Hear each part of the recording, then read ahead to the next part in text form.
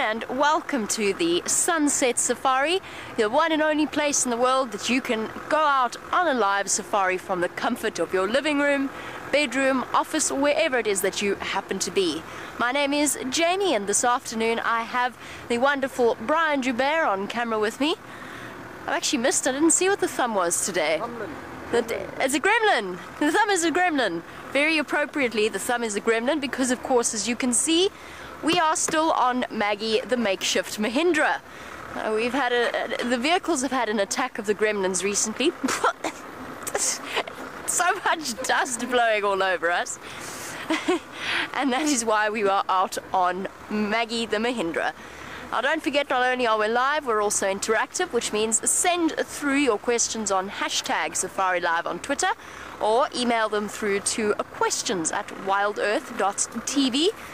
And it is a beautiful, crisp and clear winter's afternoon here on Djuma, Arathusa and Cheetah Plains Game Reserves in the Sabi Sand in the Great Kruger National Park of South Africa. So right up in the top northeastern corner of our beautiful country.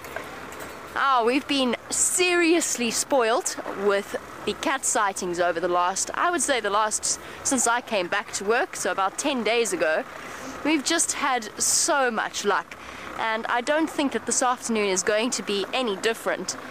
I had the morning off this morning, I didn't go out on our sunrise safari, but I hear that exciting things were happening which included lion cubs and also a very interesting leopard showdown between two generations of leopards.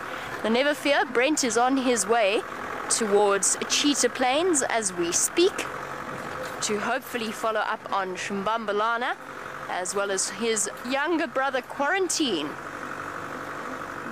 Brian and I, on the other hand, have got slightly different plans. We're going to go and see if we can't find those adorable new additions to the Nkuhuma Pride. And I'm going straight there. I'm not going to stop unless we see something extraordinary because I think only one vehicle at a time is going to manage to get into that sighting, which means we're going to have limited time with them and we want to try and get there before the other vehicles go out with their guests.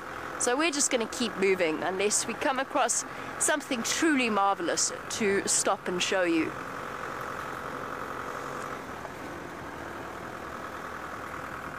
Uh, quite the contrast to this morning where everybody was out wrapped in lots of jackets.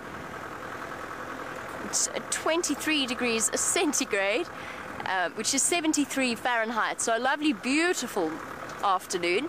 Really nice and warm, particularly in the sun. As we trundle along in the very noisy Mahindra. Astralina has said that it's a good thing that Brian's thumb is painted as a gremlin because it means that he'll be able to keep the gremlins on a leash. Well, we certainly hope so, Astralina. What do you think, Brian? You think you've got control? Do you think the thumb's got it under control? I hope. I hope so too. I hope so too. We're gonna have to just keep our fingers crossed. Yesterday, Rusty limped home. Um, Brent found the problem with it this morning on the sunrise safari, and it wasn't anything disastrous. So hopefully we should be able to keep the gremlins at bay.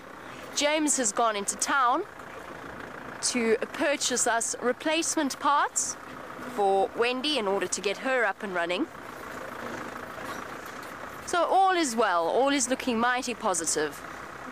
And perhaps Brian's, or perhaps the thumb, will bring us some luck. And just by the way, at the end of the sunrise safari, as Brent and Dave were driving home from Cheetah Plains and we were all gathered round for breakfast. The Queen Karula herself, the female leopard that is dominant in this area, she actually made an appearance right outside the entrance to the camp. So she is around as well, and there's a distinct possibility we could be seeing her on this sunset safari, just to add to the luck that we've had over the last few days.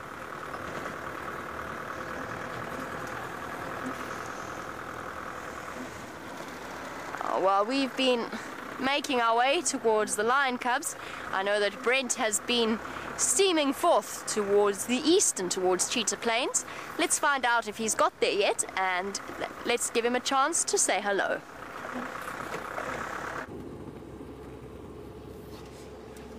Welcome to the Sunset Safari. My name is Brent Leo Smith. I have Jean-Dre on camera with me, and we are on our way in search of Shivambalan in quarantine.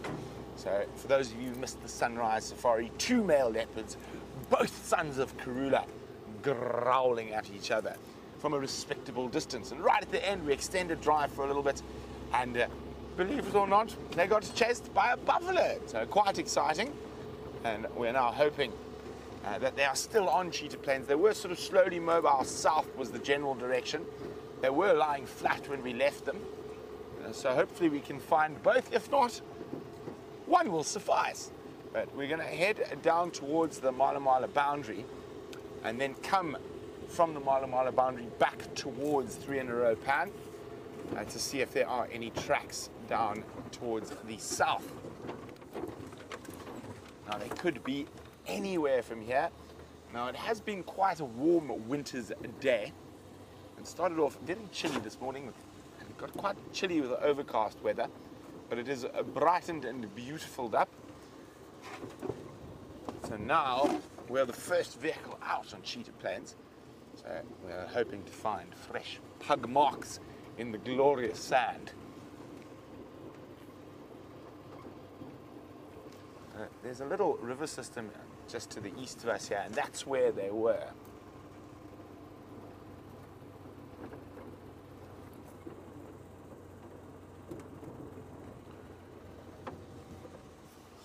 Hi, Sandy.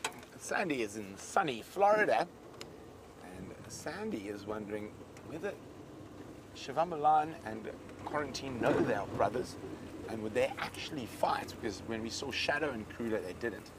Uh, with males, Sandy, it's always uh, it's a bit different. Uh, I, I don't think they know their brothers. They're from different litters, so they've probably never uh, been in, together in the presence of Karula. I mean, there's always a possibility. You never know what happens after dark and when we go home. But I don't think so. Um, I must say, I was quite surprised by Shiva, Shivambalan's behavior. It could be because he is quite new to being a dominant male. He's only six. Uh, that he didn't immediately see off quarantine.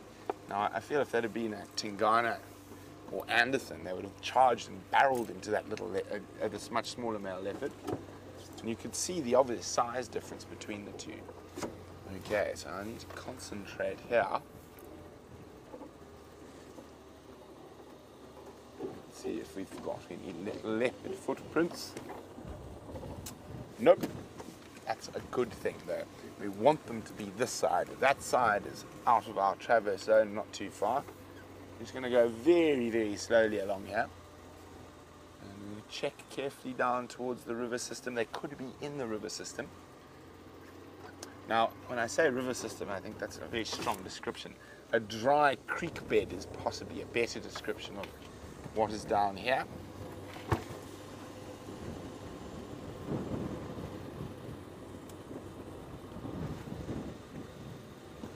Looking very, very carefully, checking in the shade. Although it's quite cool with this wind, they might actually be basking in the sun.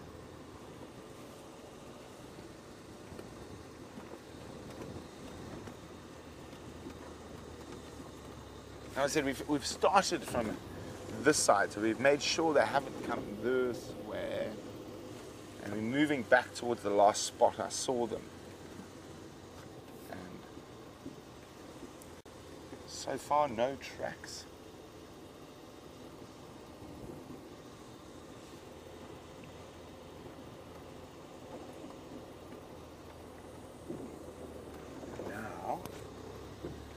Getting very close to the last place we saw them, so I'm going to concentrate heavily on tracking and spotting. So while I scour this area of cheetah plains, let's jump back on board with Jamie. While Brent scours Cheetah Plains, we've been doing some scouring of our own. And I'm just about to approach the spot opposite to where we saw that lioness. I'm not going too fast straight back to where she was, just in case she has decided to move. Maybe if she's moved across the drainage line, there were a lot of elephants around and about this afternoon or this morning when we went there after the sunrise safari. We took some of the members of the crew that don't always get to go out, the lovely ladies from Final Control, for example. They often get stuck watching through a screen, so it's a pleasure for them to be able to go out every now and again and see the animals up close and personal. When we last saw her, she was tucked away very comfortably in some shade in the drainage line, and it looks as though from where we could have seen her, it looks as though she's moved a little bit. Hopefully not too far though, and hopefully she hasn't been chased away by elephants. There were lots and lots of them around, as I said, and as you know, lions or elephants are not a huge fan of any of the predator species, and they will often go out of their way to chase them away. Now let us try. We are in the Mahindra, so we're about we're about double the length of our usual little vehicles, double the length of Jigger and Wendy and Rusty. So getting into the spot is a little bit more tricky.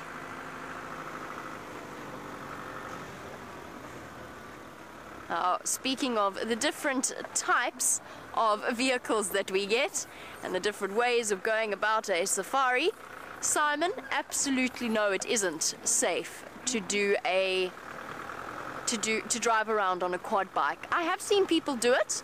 I know of people that do do it and on motorbikes as well. It is so dangerous. That small quad bike, you're basically like it's like an invitation to a lion to chase you. So I've seen people driving around on motorbikes. I've heard horror stories. A very close guiding friend of mine, a guy called Toko, Toko Zan, he was he started out working in anti-poaching and doing fence patrols and they, they gave them motorbikes for fence patrols. And at one stage he was chased by a pride of lions. The lioness actually jumped onto the back onto his back and luckily he was wearing a backpack because she took she she stripped the backpack straight off his shoulders.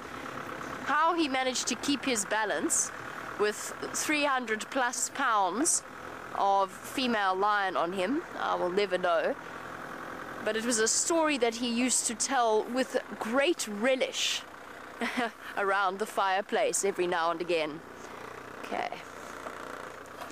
Oh, um, my legs are not long enough to reach the clutch. Aw. Come on, Mahindra.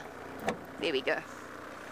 Just trying to get her into low range, which is very difficult when you're my size. Despite sitting on one towel and two pillows, I still managed to feel dwarfed by this Mahindra. There are tracks coming out of here. So I'm just going to concentrate very carefully on figuring out where she's gone. And while I do that, I believe that Brent has got something to show you.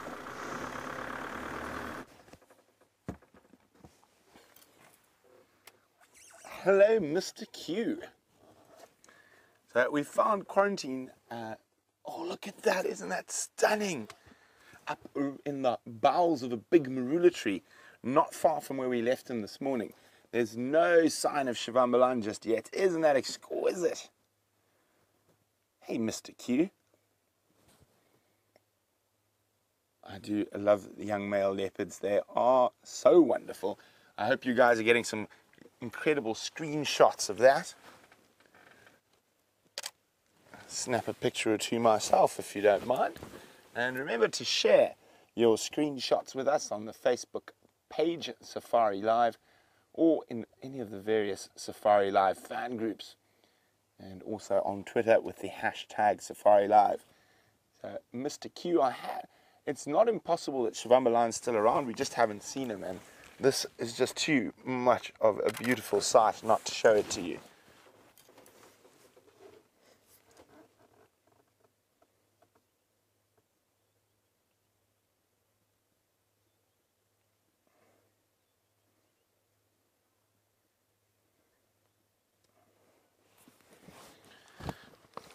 So this morning, Donna noticed that one of the leopards had a scar on his nose, but I actually think both of them had scars on their nose. Um, and uh, the more prominent one was on Shivambalan, but you can see this guy's also, Mr. Q's also got a scar on his nose. So it's not uncommon that most leopards, specifically males, will have a scar. I'm just trying to check quickly. You hear that? Brrr, it's my me rolling the wheel of the camera.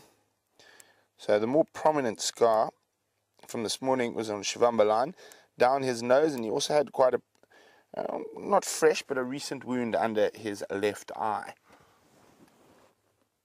Oh man, that is beautiful.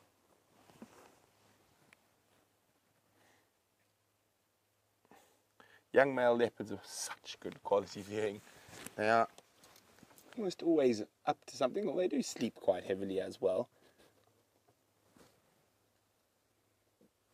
But we stopped to give you a bit of perspective from a distance.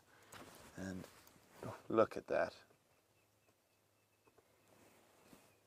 Well, he keeps looking back that way. I wonder if Mr. Shivambalan isn't lying down in the thickets to the to the north. Now let's get a little bit closer.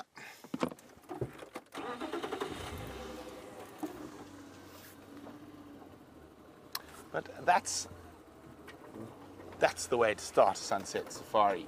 Beautiful male leopard atop a marula.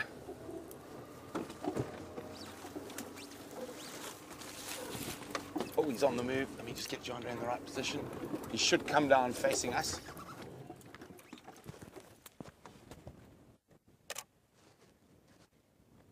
Get ready, guys. Ready with the screenshots? Hey, Mr. Q. You see, he's quite hungry. And he seems to have waited all evening, I mean all day, just for us to arrive before heading on a patrol. He might head up towards 3 in a row pan for a drink, and who knows, he might bump into Mr. Shivambalan. Okay. We're going to stick with him.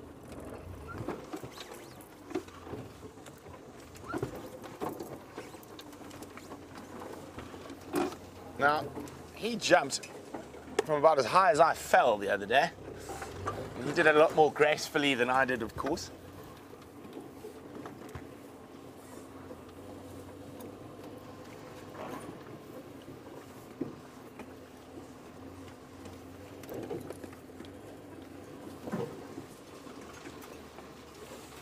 Okay, I'm just trying to find a spot we can maneuver through. I'm also just trying to make sure that Shivambalan isn't around. Oh, the cats have been so good to me since I've got back from leave. In Birmingham and Amber Eyes last night. Uh, the cubs and then two male leopards today. Oh, and now to start off with one of my favorite, I know a lot of your favorite leopards, quarantine. He's going to come climb this big termite mound here, I'm quite sure of it. We all know how Mr. Q loves a good termite mound. And he is quite hungry. That's maybe why he started moving already. So there he is. And we're just going to go around to the other side of the termite mound. He's going to hopefully pop on top and look down at us from a different high point. It's a particularly nice big termite mound as well. Oh no, Mr. Q decided to prove me wrong. In a hole. Now you can see that sort of hollow section there, and it's showing he's hungry. He's got a little bit of a limp, nothing serious. Maybe he did have, have a wrestle with Shivambalan after drive, or maybe even before we arrived.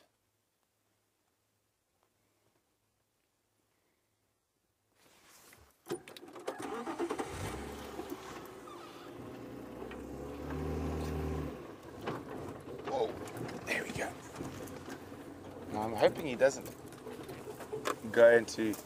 Uh, there's some impenetrable strychnos or monkey orange blocks around here.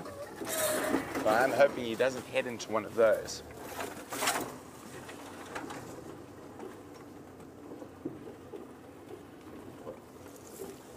So it sounds like there's some incredible screenshots. Uh, so awesome guys. Hopefully he's gonna give us a few more just now. Oh, yeah. Watch out for those GoPros.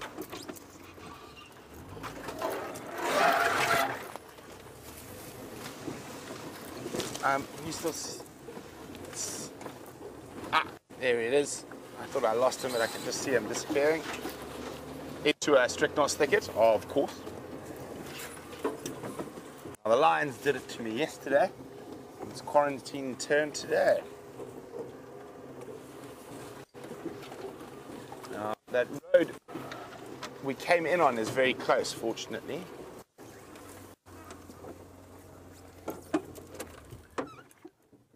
Now you can see how his camouflage works so well in this dappled light. So even that there's very little grass around, he's still got a good chance of catching something to eat like a steenbok or, or a duiker. This is not really Impala country we're in at the moment.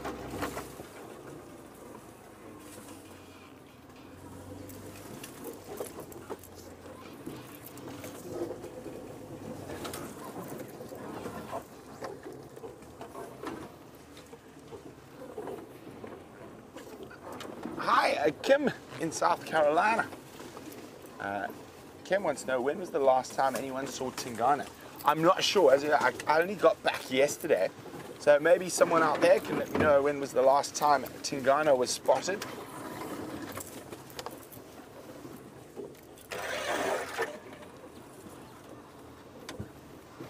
Hey, Mr. Q.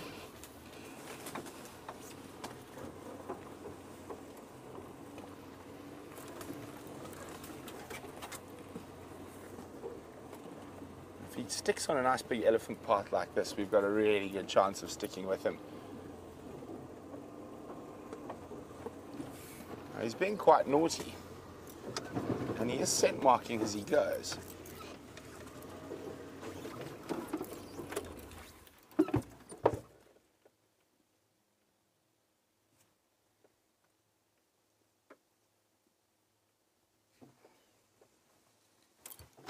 Back on the eddy path.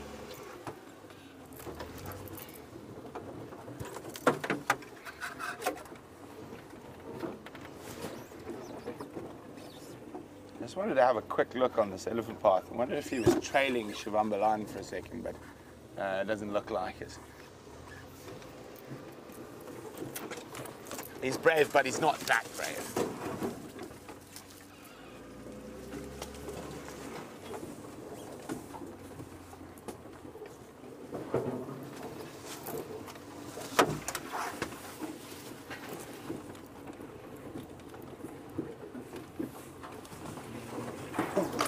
I think he spotted something. His body language has just changed.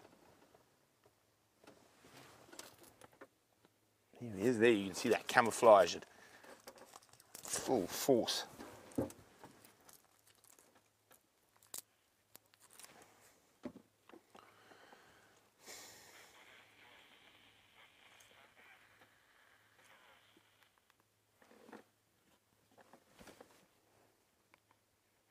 Just trying to see.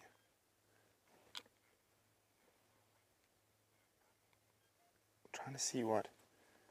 Yeah, no, nothing.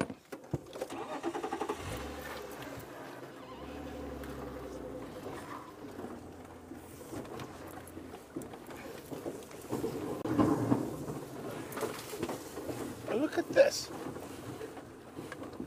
Out here in the middle of one of the driest blocks in our Traverse area is this green tree that Quarantine is making his way towards. And it looks like an Atal fig tree. Out here in the middle. Now that is probably grown around another tree and completely killed it. And just out here in the middle of one of the driest areas, we've got a, a, a tree species that's generally associated with water. Beautiful fig tree.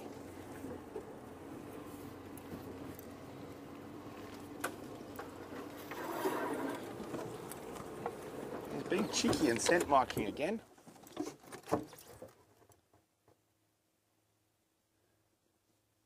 Now, look at that. Oh, he is taking us into some decidedly thick spots.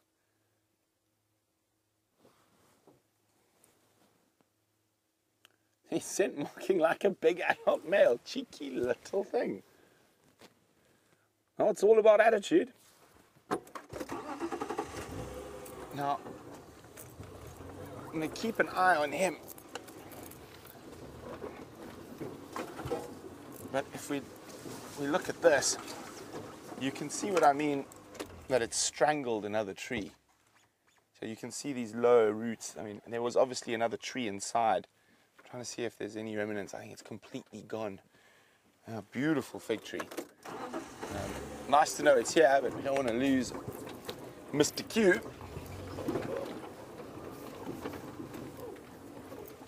Um, it's just sorry, Debbie. I will get to your question. I'm just trying to negotiate through here without whacking the virtual reality rig.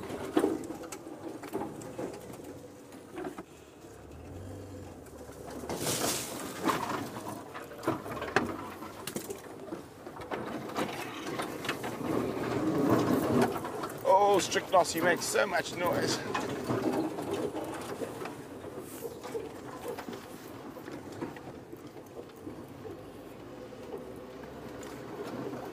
Mister decided to stop for a rest. Now, of course, because I chose a termite mound for him, he didn't like it, but he seems to like this one just fine. How's that, John? Actually, let me get the grass out of the way. How's that? There we go. Oh, there is a hole. It doesn't look to be active though, just below him.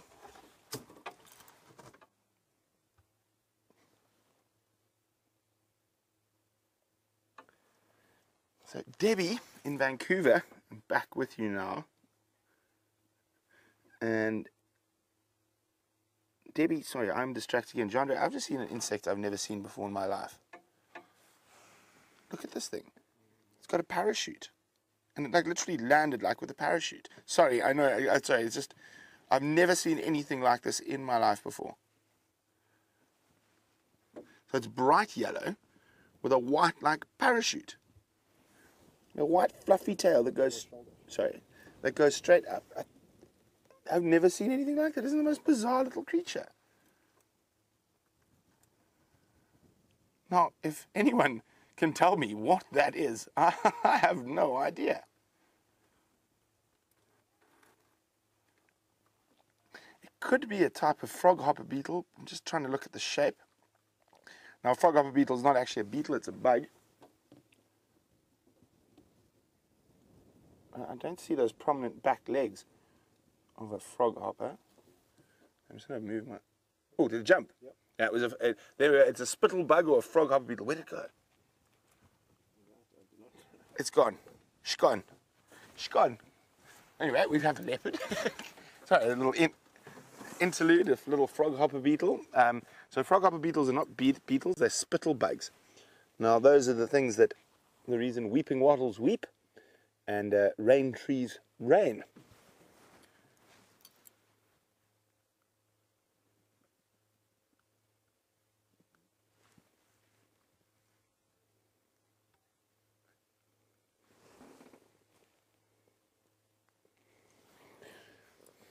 Hi, Debbie. Sorry, I just kept getting distracted there. Debbie's wondering, with leopards being solitary, would they avoid a fight uh, where possible? They will try to avoid actual physical confrontation. Uh, It does happen, but if they can, they'll posture and growl and snarl and scent mark and call rather than actually physically attacking each other. Not to say that they don't physically attack each other, it does happen, but uh, that's sort of last resort. That beautiful big boy, Mr. Quarantine. You're acting like a, a man much older than you are. Definitely think he's one of my favorite leopards to photograph.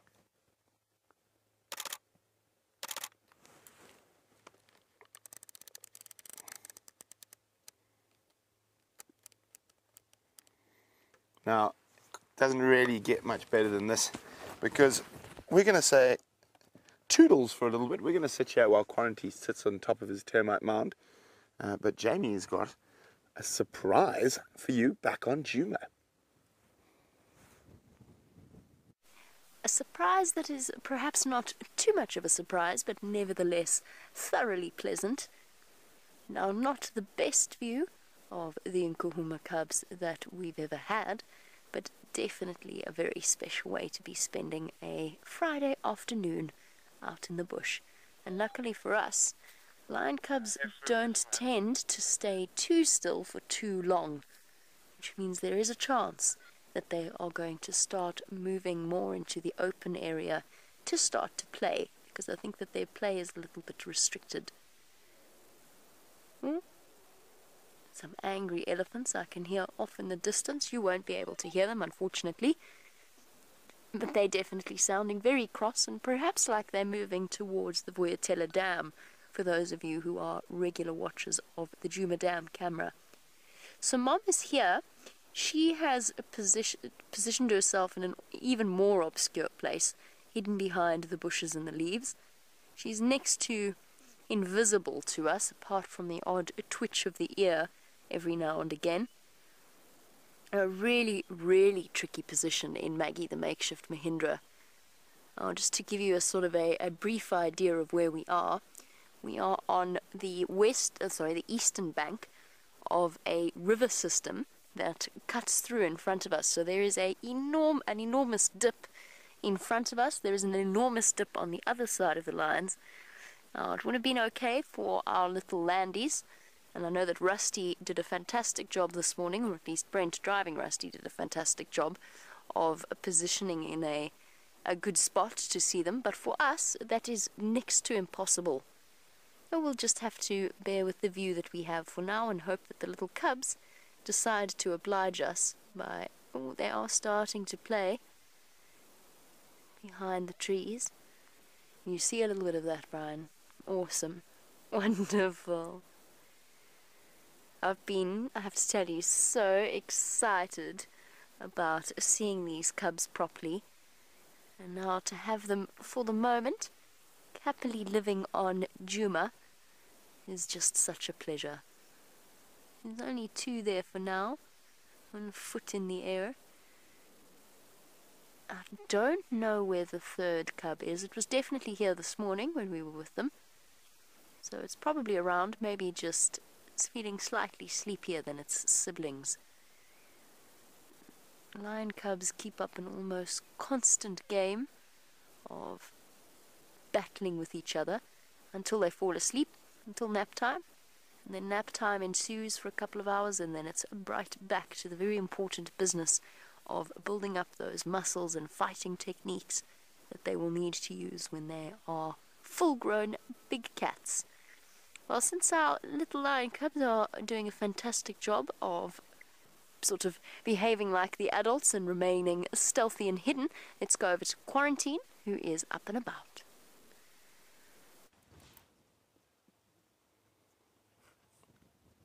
So it was just a quick little break and we're on the move again. I'm trying to see. He is taking us into a very thick area. But we shall stick with him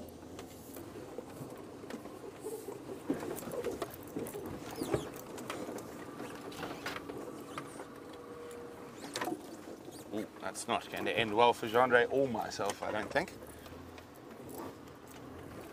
Ooh, here we go. Now remember, we're on a live African safari. We are in real time following a male leopard through the bush of the cheetah plains. Is how we see it. Um, I've the antenna for a second. Are we okay? We're good, we're good, we're gone. Of course, that male leopard is able to maneuver through the bush a bit easier than we are. I just had a last glimpse of him through there.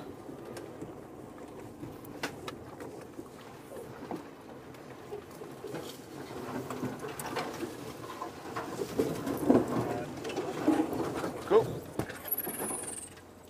Okay, so while we try to keep up with him in this thick thick bush. let's go back to possibly the cutest creature in the African bush a little lion cub. Well, hopefully, Brent does manage to sneak through the bushes and keep up with the marvelous quarantine. In the meantime, as you can see, our view has improved tremendously, and um, I think the cubs are now, for Brian, even more obscured. I can't see exactly what it is you're seeing, but I think it's safe to say that basically those leaves are very cute. The leaves are adorable, aren't they, Brian? Terribly cute leaves. with um, some sort of sand-coloured movement happening behind it. Beautiful backlighting for this scenery. It would be absolutely stunning if, if only, our sweet little cubs would decide to come out into the open.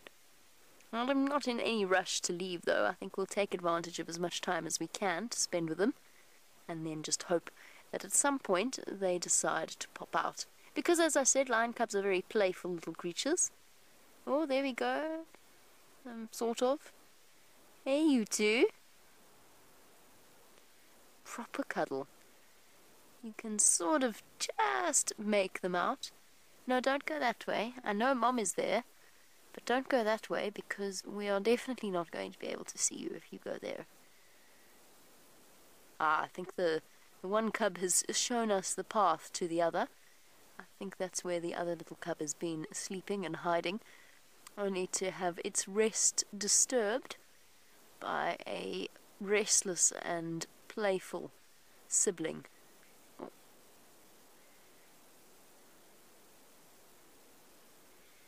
Lion come number three. Oh, I don't think this will ever get old. The novelty of watching these little lion cubs is going to remain with us, and such a pleasure to know that we're going to be watching them grow up over the next few months. And one day we'll look back at this footage, or you guys will look back on the, the, the footage of the drives and reminisce as to how small and cute they were. Because a lion cub grows phenomenally quickly. Cat in Tampa, you have been won over by the lion cubs. It's something that James always made this bold claim that lion cubs are the cutest animals in, or the cutest baby animals out here. And Cat in Tampa has been won over by that argument, saying that she never thought she'd say this, because of course we've been so spoiled with leopard cub sightings as well. But Cat in Tampa thinks that lion cubs are the cutest. I'm I do know exactly what you mean, and especially while I'm watching them now, they're just they're absolutely irresistible. Hard to imagine that in two years' time they're going to be 300 to 500 pound muscled feline killers. At the moment they are the size of about the rough height of a domestic house cat. A little bit heavier though, a little bit stronger but nevertheless utterly adorable. But I'm not sold. I don't think that leopard or that lion cubs are the cutest baby animal in the bush. I think that I think that prize goes to a baby rhino, or maybe a baby elephant, or I don't know. It depends on the mood that I'm in and the day that you ask me on. Three little tawny shapes wrestling with each other on the other side of the drainage line. What do you think, Brian? Which is your favourite baby animal? I don't know. Brian's. Lion cubs are pretty good. Yeah, Brian seems. Brian says he's not sure, but that lion cubs are pretty amazing. Oh, look, they are incredible. Don't get me wrong. I think they're absolutely adorable. But do they get the title of the cutest baby animal? Um, baby rhino are a newborn baby rhino with giant ears and giant feet that does its little rhino dance and makes its little rhino squealing sounds. But then these cubs do little things like this, battering each other with their paws, and I can't help but smile. Brings an instant smile to my to my face.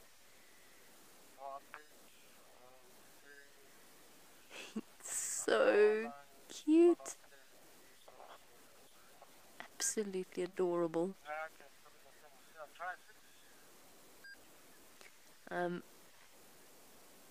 to be interesting to see what the sex ratio in terms of boys and girls is when they get a little bit, well, when we get a slightly clearer view or when they get a little bit older and it gets easier to determine whether we have males or females. And when that when that does occur, then you'll have this incredible opportunity to watch the way in which male and female lion cubs grow and the speed that they grow. Well, since our leopard cubs, oh, sorry, I keep calling them leopard cubs. Those are not leopards, those are lions. I'm sorry. I do know the difference. They both might be spotted, but that's very definitely lion cubs. Let's go back to an actual leopard, not a leopard cub, with Brent.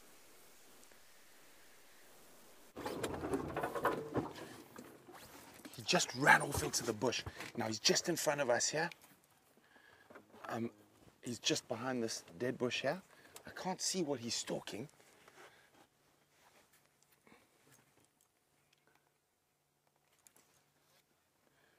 Okay, let me just inch forward a little bit.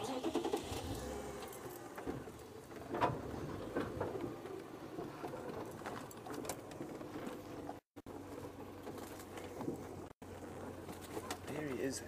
Now, he's just hiding through the bush there. I just have to be on the game drive radio for a second, sorry.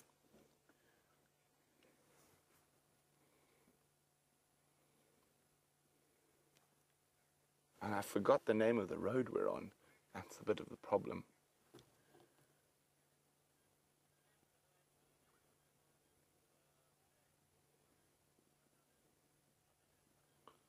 Okay. Look, where is he going now? Look, he's definitely after something. So, I I just have to get hold of Ephraim quickly. Ephraim, Ephraim. If go um, Northern Channel. Oh, he's gonna lie down. F F.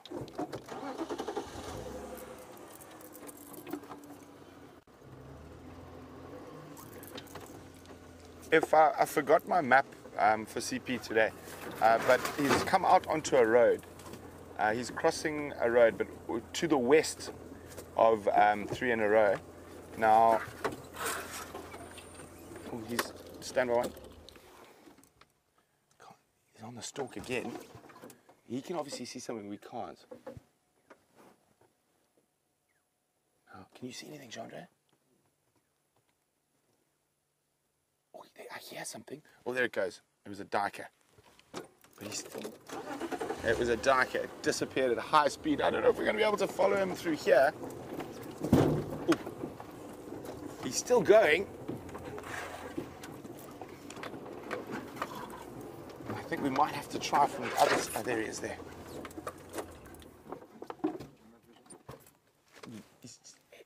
He's, just hidden in the bush through here. We're just going to try to figure out a way to get to him.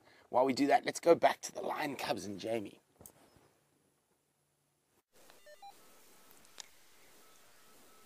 Well, brief distraction from their moment of play while they tumbled across the top of each other. Um, they actually stopped to have a really close look at us, at Brian and myself sitting opposite them on the drainage line on the drainage line wall. A source of something interesting. At some point, our novelty will definitely wear off. Oh, I'm going across to mom now. Our novelty will wear off, and li- these little lion cubs will very rapidly get used to the presence of people and vehicles, which is, of course, what makes the Sabi Sand such an incredible place for guests and tourists and researchers and whoever else might be visiting it to come and have a look at them or look at the different animals.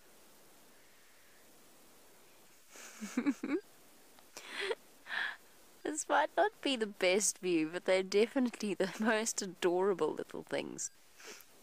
I haven't had a good chance to have a look at Mom. I don't know if she's hungry or not. I know that the Nkuhuma lioness I was with yesterday with amber eyes, she was absolutely starving. I'm not sure about this one. But Wesley, she would absolutely hunt with her little cubs in tow. Basically, what she would do at this age is she would go, she would sort of start hunting something. If she spotted something she wanted to hunt, she would start moving towards it, and somehow they communicate to the little cubs that they must absolutely stay put and not make a sound. And that works really well from about six weeks of age right up until about eight or so months. And it's at that point, however, that you actually start to see a sort of a different aspect to the little lion cub's personality because that's when they start messing up hunts for mom and the rest of the pride. They get over enthusiastic and they think they want to help. They don't know what they're doing. They have no idea how to sneak up on anything. And as a result, the pride failure rate in terms of hunts that are initiated versus successful hunts, their failure rate actually skyrockets because they are being sabotaged by their own cubs, which is absolutely hilarious to think about. And it's very funny to watch because you can just see the frustration on the lioness's mom, uh, lioness's mom, the lioness's face when their hunts are derailed by the sudden appearance of a lion cub. And they do get very curious. And then, by the time they hit about a year and a half, two years old, they're fully participating in the hunts and learning about how to go about it, and often are the ones to initiate a stalk and a chase and a hunt. It's because they are trying to hone their skills. At the moment, honing their skills comes entirely in the form of battering each other around. It's the best way of building up their muscle strength. Oh, you're just too cute.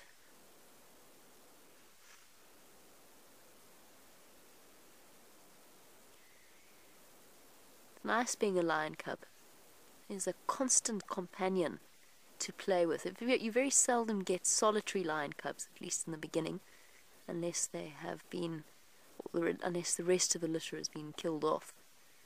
But they've just got constant company. Must be always entertaining and never boring. I don't know if you can you see that, Brian, at all. Not really. So so. The cubs are climbing on top of Mom's head now. Oh, pouncing on her and then sliding off. And I mean, they are basically the size of her face. They're the size of her skull. so they just look so incredibly small in comparison.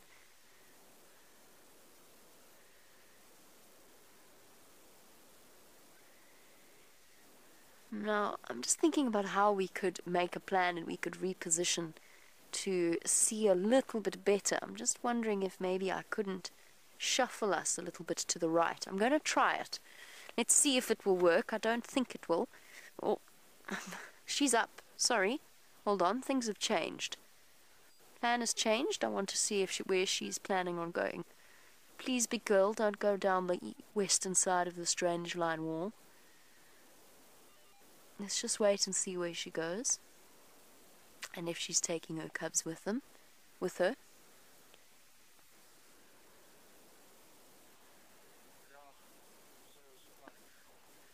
Cool. Um, well, that was exciting.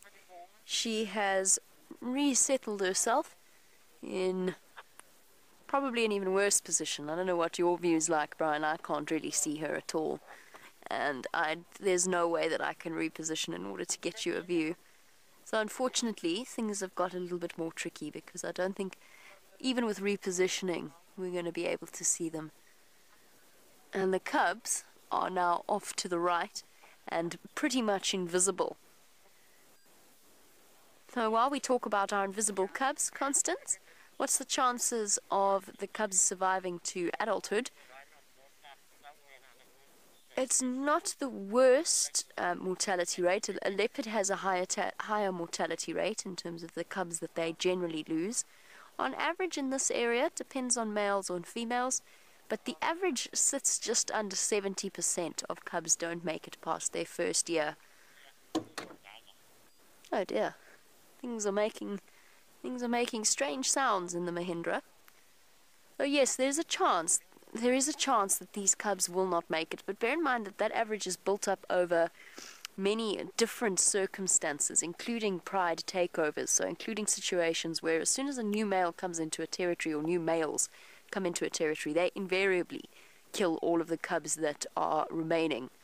And what that means is that that automatically lifts up the averages statistically. It, it, it lifts up the mortality rate and the percentage rate. Now, we I don't think we run that risk here. I'm really hoping I'm right about that. I think the four Birmingham boys are very much in control of this area. They don't seem to have any major incoming competition. So I think that they should at least be able to keep this set of cubs and their their cousins, their immediate cousins that are about to be born. I think that they will keep them safe and secure. They will at least raise one generation of new Styx cubs and new Nkuhuma cubs. Unfortunately, however, things are very difficult, and I think we might decide to leave at some point, or not leave, um, try from the opposite side of the riverbank. I don't think that's going to work either, though. I think we're sort of stuck with this with this view for now.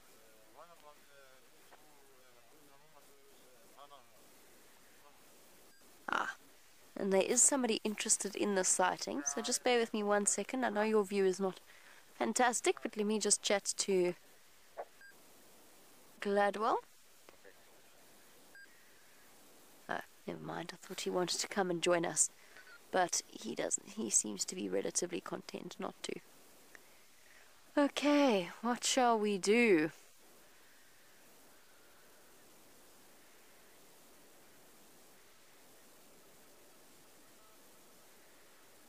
Hmm. I wonder if we shouldn't leave and then come back a little bit later, see if they haven't moved into the sun. Because I definitely don't think that they're going to shuffle around too much right now.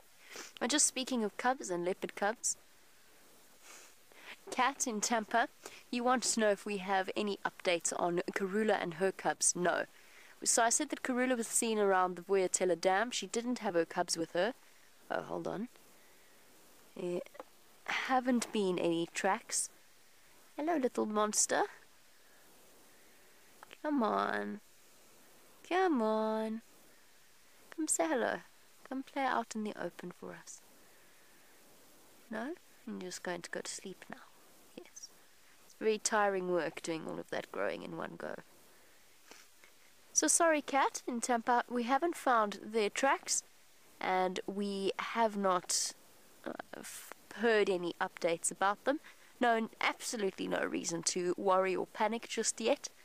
I'm sure she, in her typical Karula fashion, will be keeping them safe from harm, but we just don't know exactly where she's put them. I would guess somewhere around Treehouse Dam, but that's an entirely just guesswork, since she that's just one of her favorite areas to hang out. Right. Well, that was that was the end of that view of the cub. This lioness is showing signs of wanting to move. She's not she's not sort of resting and relaxed. She's constantly looking up and on alert. I don't know if that means she's heard something. It doesn't look like she's heard something. It just looks like she's thinking about moving. Now, if I were her, I would go and lie in the sun and enjoy the last little bit of warmth. Uh, Caroline is sort of relatively unfamiliar with the process that we that happens during a male lion's takeover. Now, Caroline, the mother does try to defend her cubs when there is a takeover. And in fact, when we saw the disastrous takeover with the Birmingham boy, not not disastrous, it was the natural way that things occurred, but the Birmingham boys came in and they certainly caused chaos. They actually ended up killing one of the Nkuhuma lionesses. Now, we don't know whether what the reason behind that was, but there is a chance that it was because she was trying to defend her sub-adult cubs, or not even her sub-adult cubs, but the sub-adult cubs that belonged to the pride. And unfortunately, one of those little female sub-adult cubs was actually killed. So the mother does try and defend her babies. Unfortunately, she is just no match for a male. Now, she might be okay she might just be able to fend off one male if it's just one male, but any more than that, and she is really going to struggle, and she won't be able to keep her little ones out of harm's way. Sometimes what happens is the most incredible thing that lionesses do. If, if let's say we have a pride takeover now.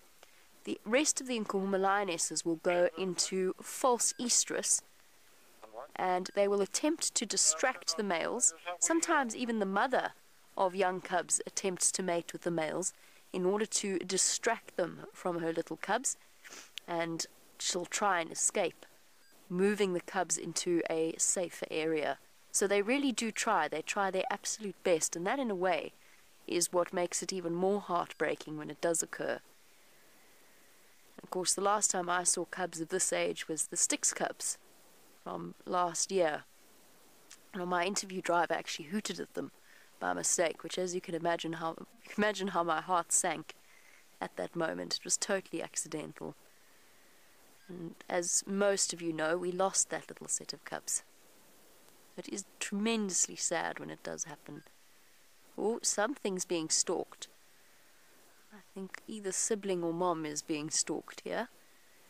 Oh, distraction. Actually, I might just lie down. Might just lie down and go to sleep.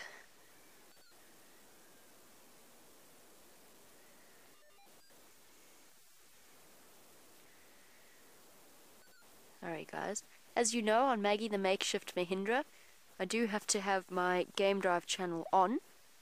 I don't have an option of feeding it through my earpiece as we do in the other vehicles. I do have to just listen to the game drive channel, especially if there are people who are interested in coming to join this sighting.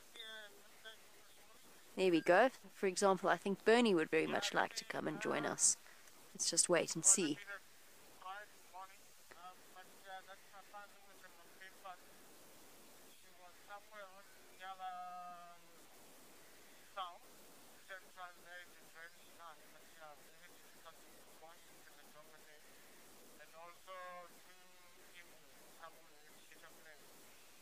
Go. So Bernie is just getting an update from a Taxon, and it doesn't sound as though he's going to come and join us here. Just so that you know, there's an update on Brent. He's off the vehicle, presumably attempting to find quarantine for you all. I guess quarantine disappeared. I think what we are going to do is once Brent is back on the vehicle, then we'll reposition. We'll stay here for now, but just because it's quite a tricky spot to get into and out of. We'll stay here for now. We've got this adorable little cub. Hey? How's your view there, Brian? Not see it at all. Sort of. It's very difficult for me because I'm so used to where the camera sits on Wendy and Rusty and so on. Very difficult for me to gauge exactly what it is that Brian's seeing. What I think we'll do is we'll try and reposition. We'll try and get to the other side, see if there's not a view from there. Otherwise, we will come back. We'll go do a quick loop of Buffelshoek Dam and then come back here. We'll make as much use of this sighting as we possibly can. Alright, I'm going to send you back across to Cheetah Plains. Brent is back on the vehicle.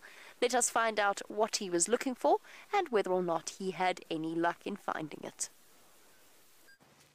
So I'm making the cameraman do the work. I've got a, here we go. Brent got us stuck. I got stuck on a stick and Jeandre's trying to pull it out. There we go. Well done, Jeandre. uh, unfortunately, uh, Mr. Q gave us a serious runaround um, and went into uh, the impenetrable thickets um, in between two roads. Now, I've just had a quick walk um, and I've got his tracks.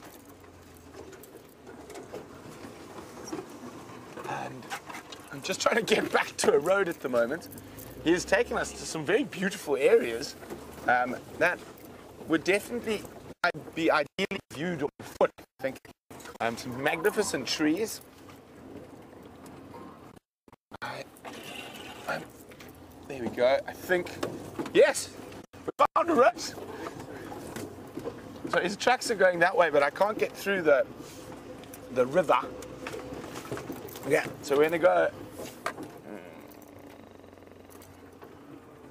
We're gonna go this way around, I think. Okay. So we're moving relatively quickly. Um,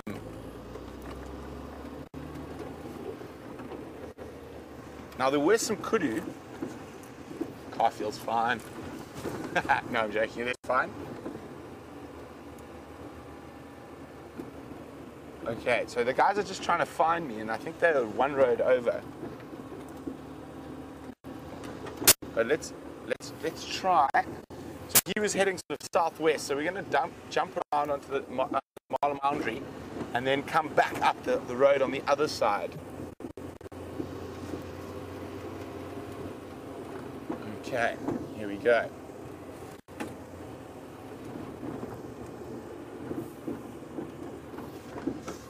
Okay, there we go.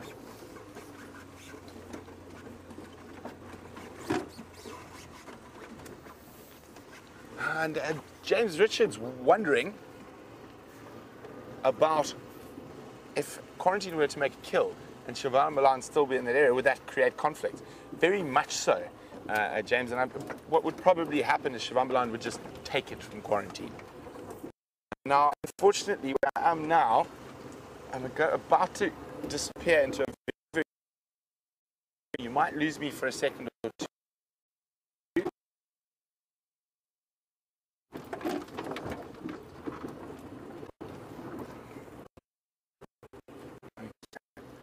We're gonna just jump on with Jamie. We'll be up and out in two ticks. So signal. See Jamie. As you can tell, it seems as though Brent lost signal sooner than expected, and it's absolutely impossible for us to have signal absolutely everywhere. I have no idea what that update was. There was an update about Karula's tracks, but I have no idea where exactly they were found. So I'm going to chat to Aubrey in a moment. I've lost him now. Okay, let's try and shuffle our way around. You can hear Brent chatting to Mike. I think he's getting some reinforcements to help him to look for quarantine. You okay there, Brian? About to get smacked by guarri bushes.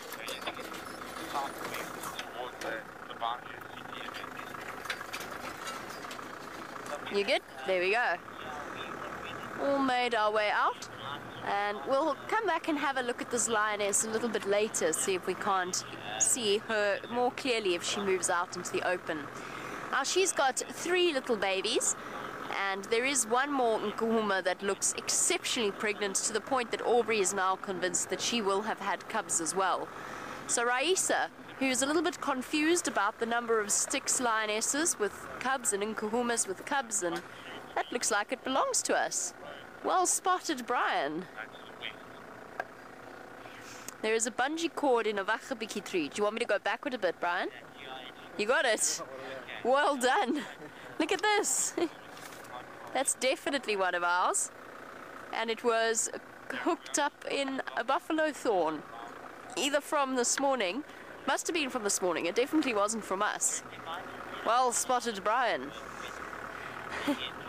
Sorry, Raisa. So, an update on the Styx and the Nkuhuma cubs. I, I, actually, I'm afraid to tell you that I'm not 100% sure exactly how many cubs the Styx have at this point. I do know that three of them have new babies, or relatively new babies, some of which we've seen before, some of which we haven't yet encountered. So the Styx, three of the females have little ones.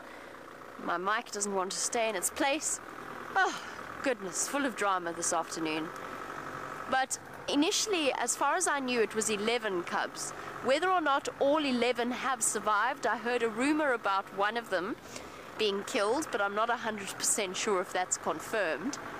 But they, they did at least start off with 11 little cubs.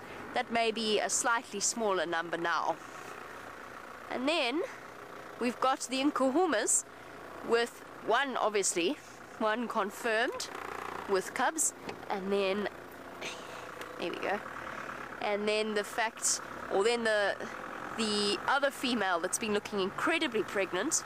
When we last saw her, she was feeding on a buffalo carcass, and she was so voraciously hungry that she wouldn't even let the other young lioness anywhere near that particular carcass to feed.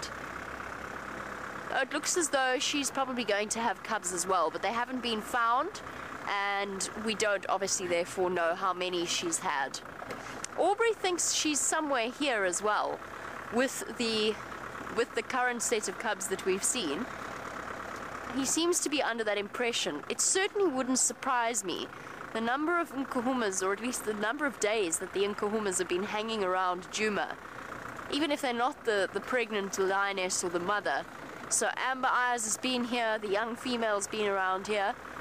I think that there's a very good chance she's going to den here as well. So exciting prospects for our lion dynamics.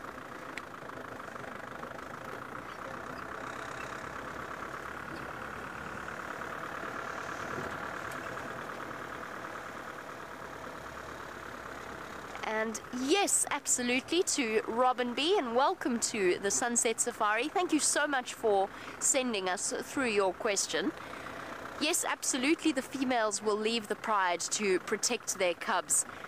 They'll do that initially anyway, regardless of what's happening, when the cubs are brand new. So they'll have their newborn cubs away from the pride and they'll keep them away from the rest of the pride for about six or so weeks until they are big enough and strong enough to keep up with the rest of the pride and also not to be bullied or with their lives endangered by any older cousins. So any cubs that have been born earlier that are now getting bigger and stronger and are very playful, but it might be a bit too boisterous for brand new little cubs. Oh, very bumpy. So then the lioness will actually separate them from the rest of the pride. And then from there, she will if there is a takeover, if some, if a male coalition comes in and is attempting to kill her cubs or attempting to find and kill her cubs, there are lots and lots of recorded cases of a female breaking away and taking her little cubs with her. And that's actually where the Tsalala breakaway pride came from, also known as the Mhangeni pride, but it was originally the Tsalala pride of Londolozi and that actually resulted from during a, a, male takeover a female took the cubs and kept them safe and raised them and then they had their own cubs. She she ended up going back to the original pride that she'd come she'd come from. But all of the cubs that she had raised stayed on their own and formed the Mhangeni pride. So it definitely does happen. False alarm false alarm. While we race off towards Buffelshoek Dam to see what's happening at the waterhole, let's find out how Brent's search for quarantine is going.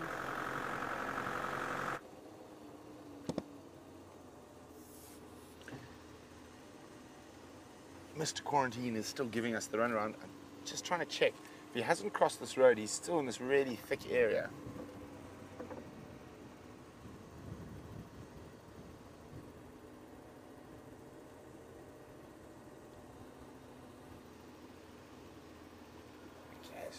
Very, very carefully. So the last tracks I had when I had my walk were here, so he must be that side.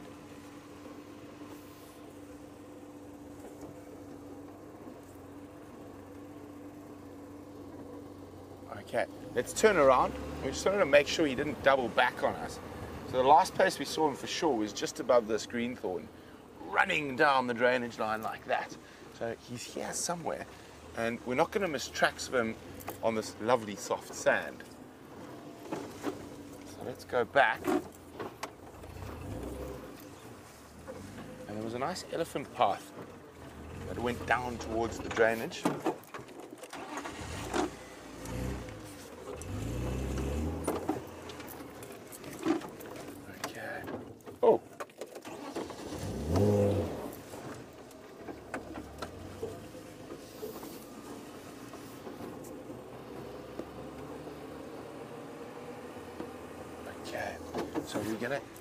go a little bit further on. I'm going to stop and listen. There might be some alarm calls. Jeandre is scanning intently. And also, with quarantine, we've got to check all the termite mounds. He loves a good termite mound. The last visual was here. I think he's further down. I think we were too soon. I think he's actually. What is that noise? You hear it?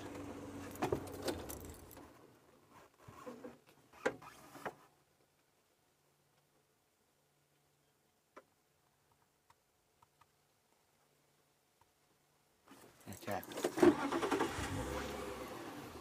Okay, so let's go. There's some big termite mounds down there.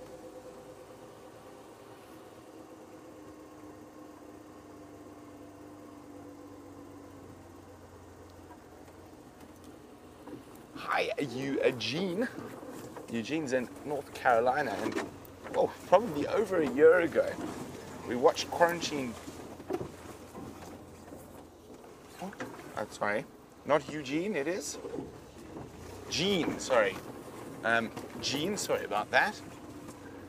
And it was a guinea fowl um, that he leapt high into the sky to try grab. Now there's dwarf mongoose there, and they weren't alarm calling. Hmm. Which means he's probably further upstream, or he's crossed again. There were some kudu around. I haven't heard that distinct bark of a kudu. But while we've got these dwarf mongoose there, I'm not going to go too close to these ones. They live nowhere near a road, so they're probably not too used to cars. But it gives us a chance to listen for a second.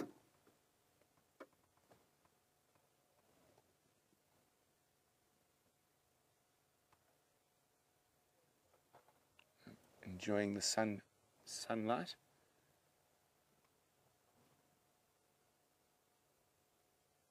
Oh, big, big, big group of them. So dwarf mongoose and will often bask in the early morning and late afternoon before retiring. Very important times for their social grooming. Aren't they just too cute?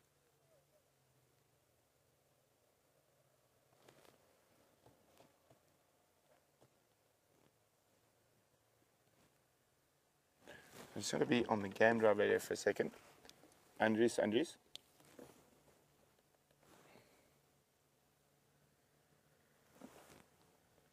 Andres, Andres. Andres, the last visual I had is uh, where that uh, greenthorn is opposite you. Uh, but you went down to the Skova and I can't cross. I'm trying to just see if I can see him from here. I'm just standing by here to see if um, he pops out, but I can't get him over in there. He's crossed through the Skova again, I think. If, um, so we're just listening. And, oh, sorry, Ephraim's calling me. And so what we're saying there is, look at all these mongoose, aren't they just wonderful?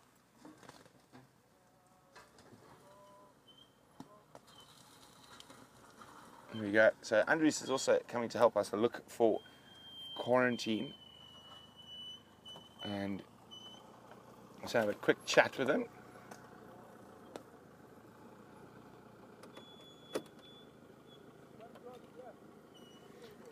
So you see just above where that where that greenthorn is there.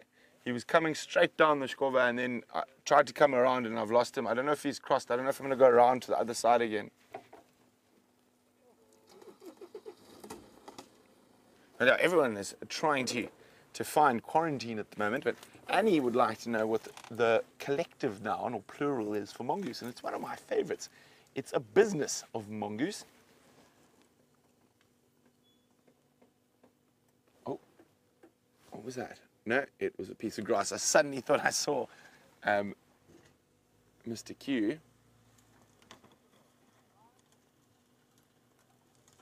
Now, Andres is going to go through the drainage line here. Um, Jeandre and I uh, have had our fair share of drainage lining uh, so far. So we're going to keep slightly to the west and see if we can find him. If we have no luck, um, we're gonna. I think I'm gonna go see if we can track Shivan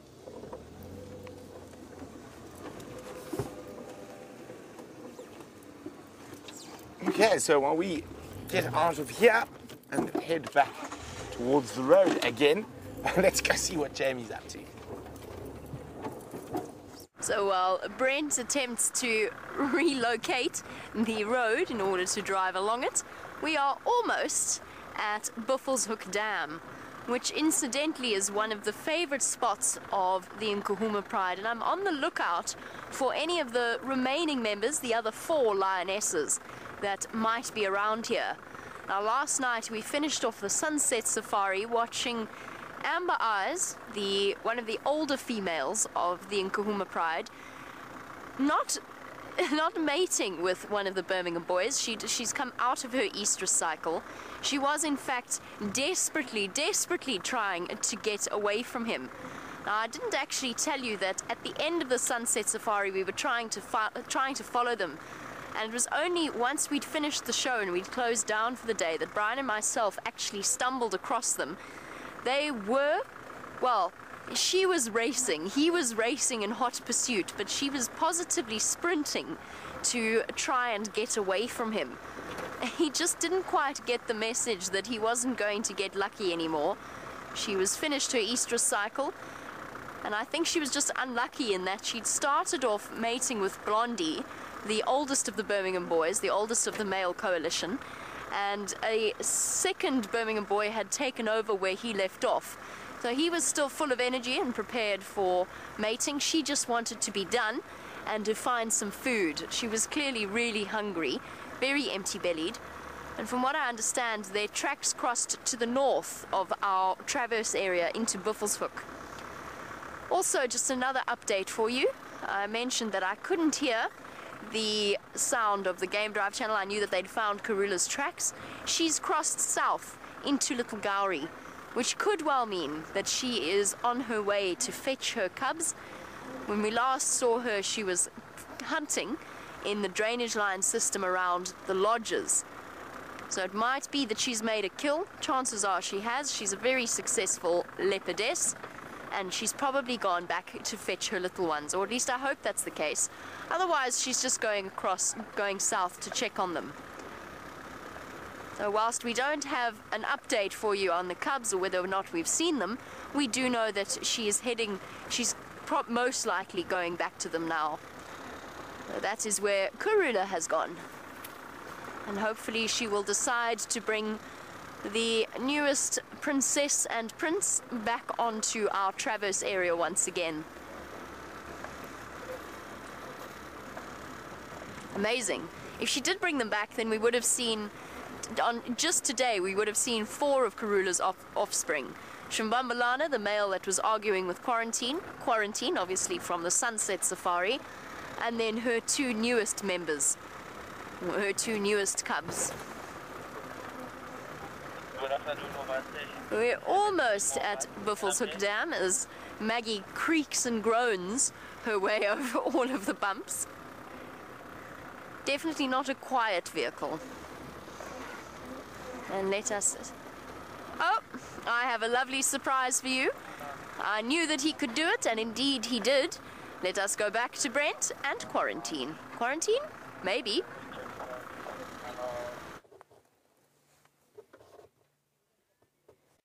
Well, there he is. After a serious run around, uh, he's popped up and is sleeping atop a termite mound. Yeah, busy day. Now, he has walked literally not on one road since we followed him. He's crossed four different roads. Oh, isn't he gorgeous? Look at that lovely late afternoon light. He's enjoying a little bit of a bask. And he's about 100 meters, no, no, not even, from where those dwarf mongoose were basking.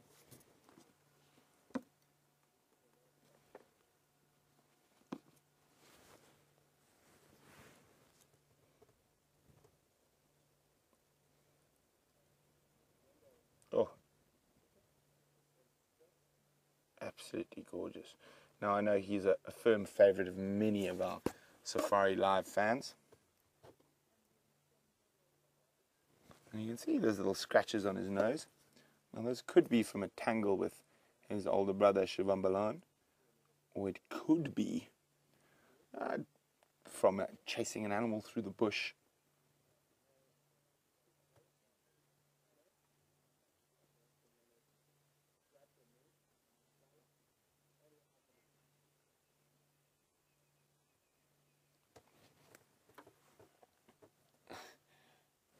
Michelle in New Jersey says, Did he learn how to lose a vehicle from his mom? Well, Michelle, I think he didn't try to lose us. He was actually trying to chase um, something, and of course, he, he can move through the bush much faster than we can.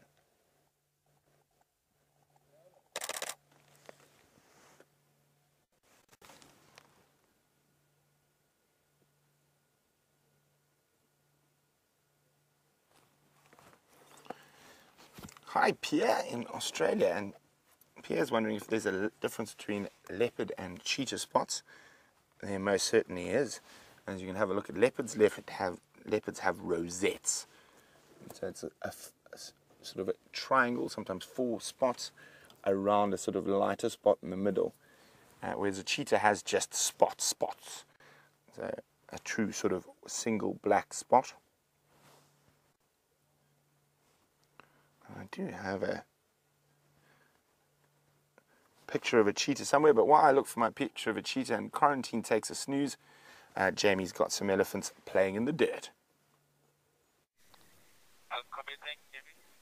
Oh, there we go. We have some elephants at Buffelshoek Dam.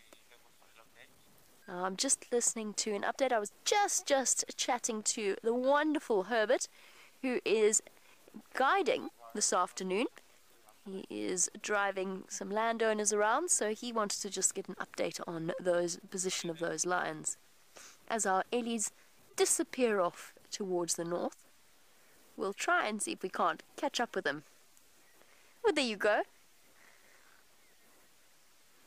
This is for Gracie, this elephant sighting. And Gracie, I promise you I will try and get us a little bit closer.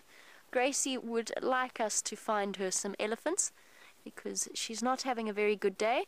And elephants, I know from experience, definitely make Gracie feel a little bit better.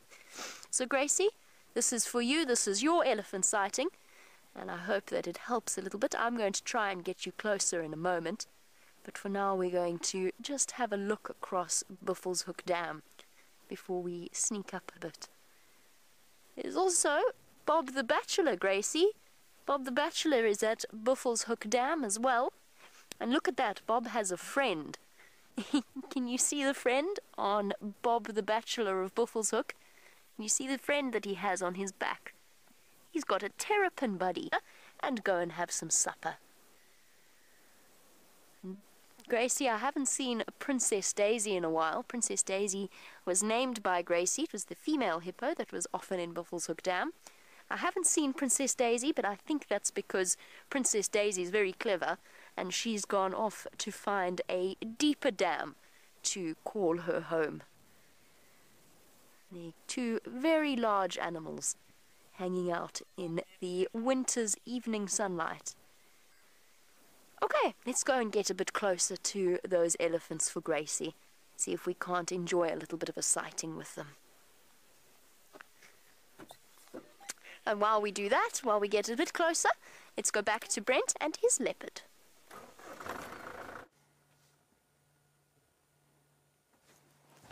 Oh, he's having a good snooze now. He's had a busy afternoon so far. So he's probably going to rest up a little bit now till it's a, a little bit darker. And then he might, just might, head off on the hunt again.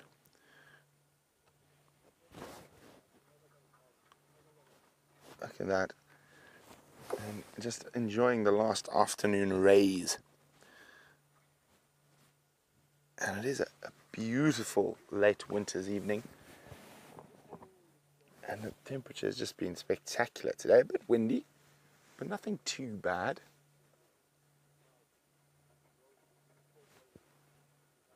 Isn't that very, very interesting? So quarantine's having a snooze. Jeandre is giving you a, a lovely view of his body. Wh- While Jeandre was doing that, I find I found something else that's quite close to us. and uh, not too common in the Sabi Sands, what I've found. And I'm going to ask Jeandre to show it to you. We've got a common spike thorn uh, to the right of us here. And it's got a lo lots of, actually, it's got multiple different species of lichen growing on it. But the one I'm most interested in is if we zoom, you see which one I'm looking at, Jeandre? Um, it's so difficult. Uh, so there's a lichen, but that's not the one. And you can see that beautiful lichen growing on it. Now this seems to have a lot of lichen. Now if we come out a little bit, I think it's there. Uh, no, it's not. um, okay, let's let's come out. Okay, now let me just have a look in uh, lower there. So it even look at that. Now that's lichen and a spider web. Isn't that incredible? So absolutely amazing. I thought it was old man's beard, but now with the, the super zoom in the camera, I can actually see it's not what I thought it was. It's actually spider webs. Aren't they just so delicate and so beautiful? Oh, heads up. Mr. Q. Here we go. Beautiful boy.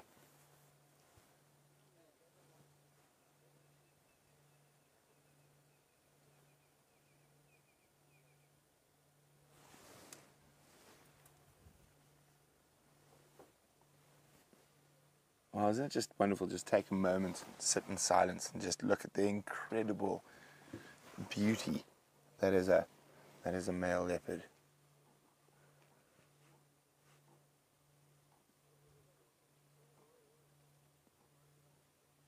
And we've been spoilt today with leopards and lions, for that matter.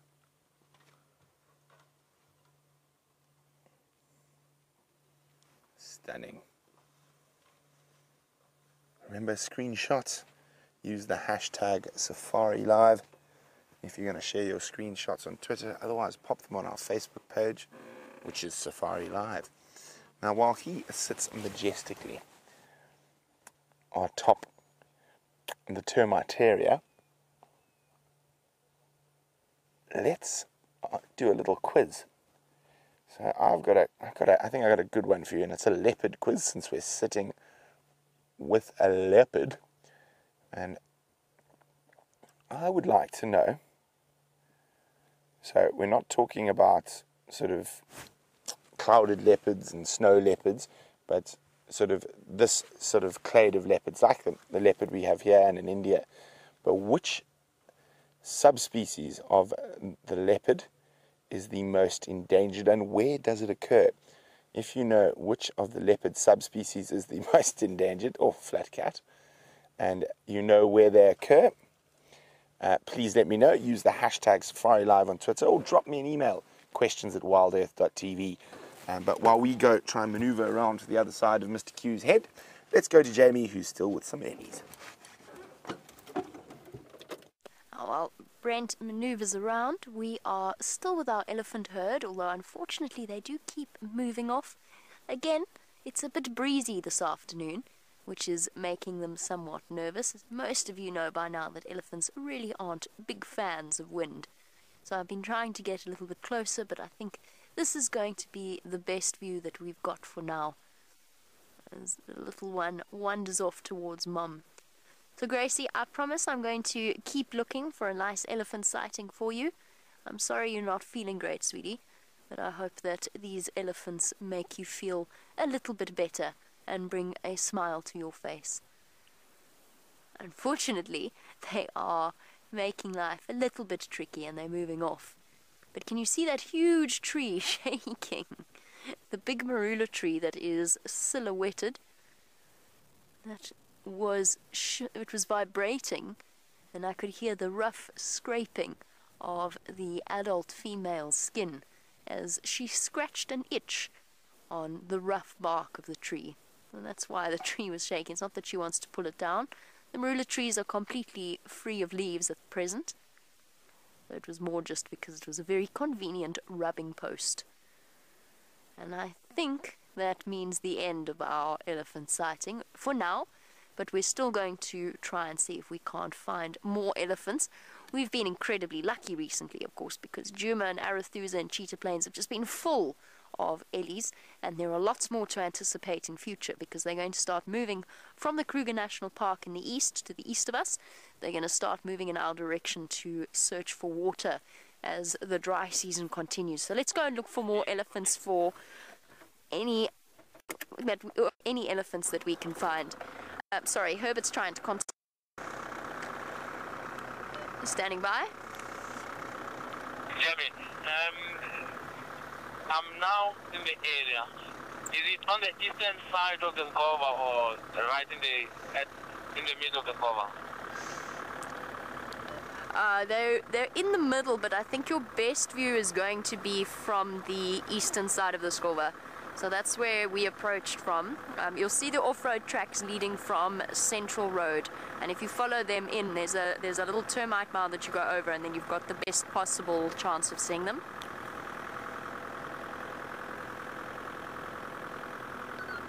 Right, while I chat to Herbert, let's send you, I think that's what Kirsty's asking me. Unfortunately, my comms just went a bit funny there, but I think we're going to send you back over to Brent and his leopard.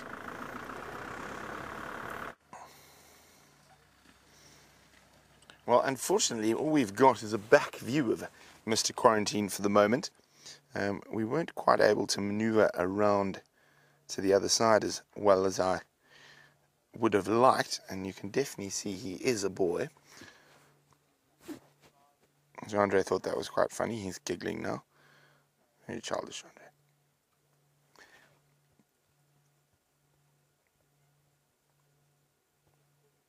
So if we have a look at the base, the top of his tail, the base of his tail, sort of. Now, if you follow his tail up, Quarantine's got a very distinct spot pattern as the, his tail becomes to his back. You Can't really see it there, but you can see there's almost like a, a, a row of three very symmetrical uh, rosettes. It's almost like a landing strip on his back. And a very, very distinct feature about Mr. Q.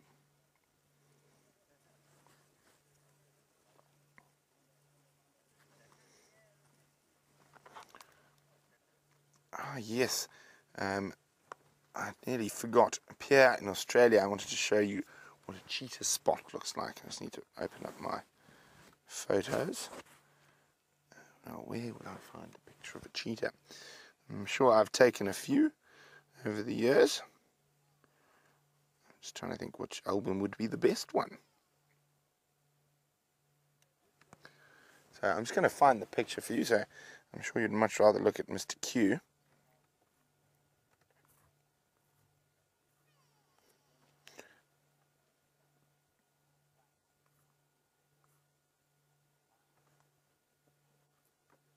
where, oh where?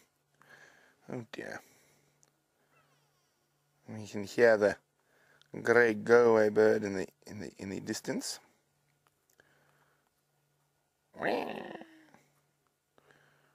Oh dear, I think I have to, I can't find a picture of a cheetah. This is ridiculous.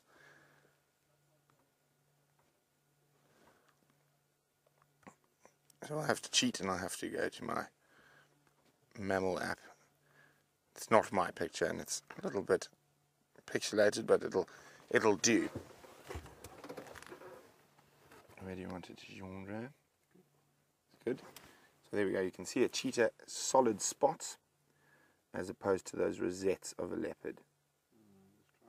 Oh, lots of dust on my my screen there. You have a cloth for me, Jeandre. Why, thank you. See, uh, it is very dusty at the moment, so let's let's give it a bit of a clean. That should make it a little bit easier to see. There we go. That looks a bit better. Very pixelated, I'm afraid. But there we go. That's a cheetah, so solid spots as opposed to rosettes. Now, unfortunately, ooh, that was quite cool color. Um, unfortunately, when we tried to move around this way, we went black screen, but we want to show you a hole. Hopefully, we don't lose signal. But it is quite an impressive hole.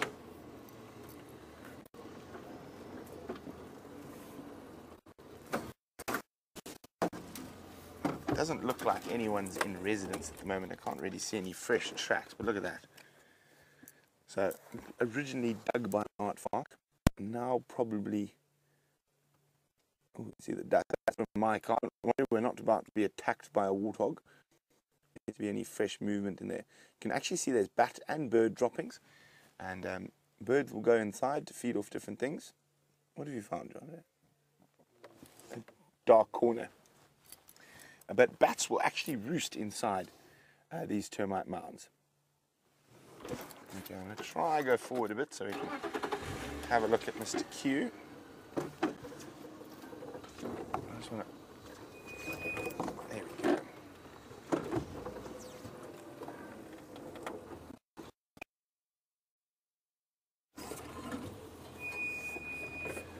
Well done to Natalia Krug, Raisa, and many others who got that question spot on.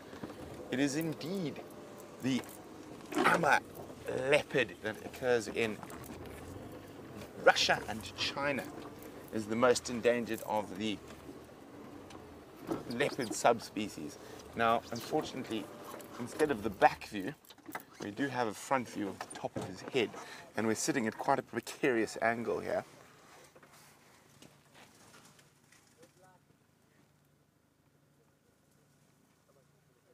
Enjoying that last late afternoon light.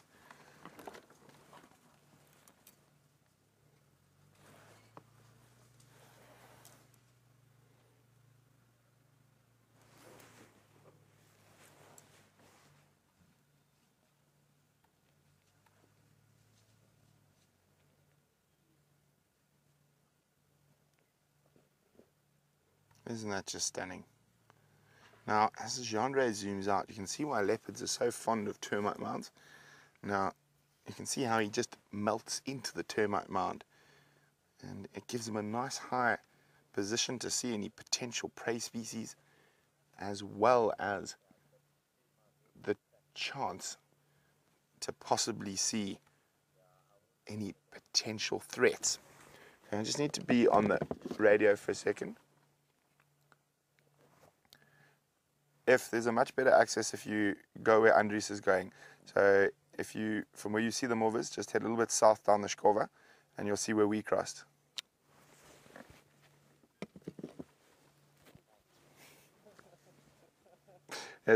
We forgot to tell Mike about the other crossing, so he, he went through uh, some real thick bush to get here.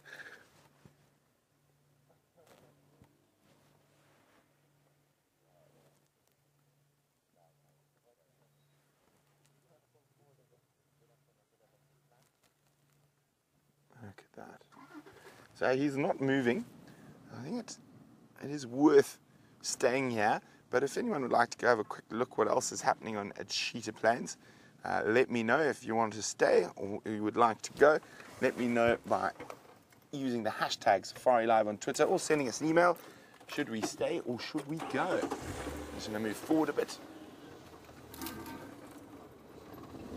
While I duck through the bushes, uh, let's go to Jamie, who's hopefully got an animal that's not hiding in them. No such luck, I'm afraid. We've got a very big animal that is hiding behind the bush, and I'm sorry. We're going to actually leave our buffalo bull for now, even though he has presented himself so beautifully, because the elephants are about to come out into the open, and we should be able to get a nice, clear view of them. So sorry, buffalo bull. As wonderful as you are, we're going to leave you for now and go and catch up with the Ellies. I've just been watching them out of the corner of my eye to pay so much more attention. I've got really used to driving our short, our short vehicles, and one forgets how to drive a much longer piece of machinery, such as Maggie the Mahindra. She's just big boned. Like our elephants, actually, that we're about to go and see. Oh, bump our way subtly, make a very slow and measured approach. It's better to have the engine on because I think the squeaking of Maggie's suspension might cause them a little bit of distress if we didn't. Hello, guys. Hi. Can we come say hello? Hmm? You know, come across the road. It's our little herd from earlier. They were obviously on a mission to get here. Here we go. Hello, little one. It's okay, big girl. Don't be scared. Don't be scared. It's okay.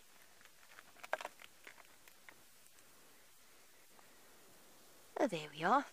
A much clearer elephant sighting for Gracie and for all of you out there that love our massive pachyderms. It sounds as though, just by the way, listening to the Game Drive channel, that the lions have moved a little bit. Herbert can't seem to find them. So what we will do is when we're done with these ellies, we're going to head back and see if we can't give them a hand. A small herd of elephants, one large female, and then most likely her daughter, or maybe a sister, and then her calves as well. Ah, there we go. They've managed to find the cubs. Okay, we don't have to rush off just yet. There's not much that is more peaceful than elephants having a quick snack.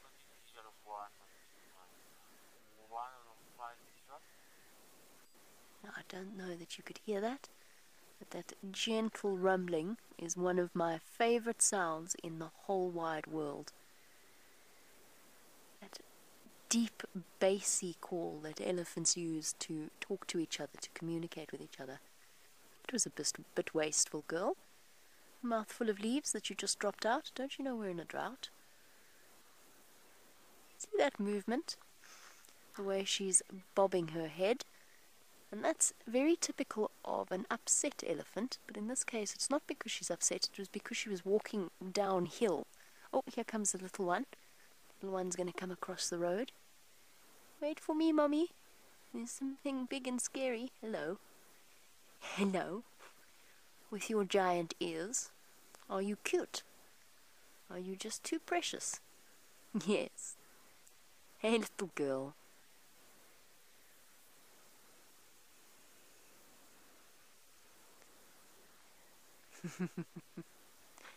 Hi, guys. You're keeping a close eye on us, don't worry. Another young female moving off to join the matriarch of her little herd. Such a beautiful sighting. Right, well, we need to do some rebooting to get rid of the freeze framing that's happening on your screen. So while we do that, let's go back over to Brent on Cheetah Plains. Hello, little boy. As you can see, Mr. Q has not moved a muscle apart from the odd ear twitch, and he's very well hidden on top of his termitaria. But uh, we're going to go start making our way towards the open areas of Cheetah Plains and uh, see what we can find there. Who knows, we might have some cheetah luck.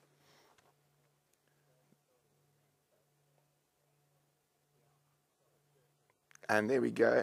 Liz says, I'd love to stay, but what if there are cheater on cheater planes? So we're going to go find out.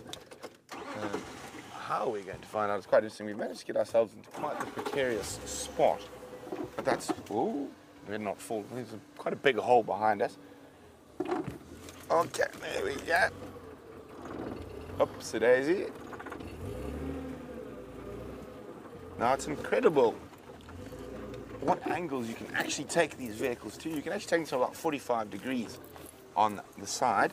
But while I terrify Jeandre, I don't want to terrify you. So let's go back to Jamie and the elephants.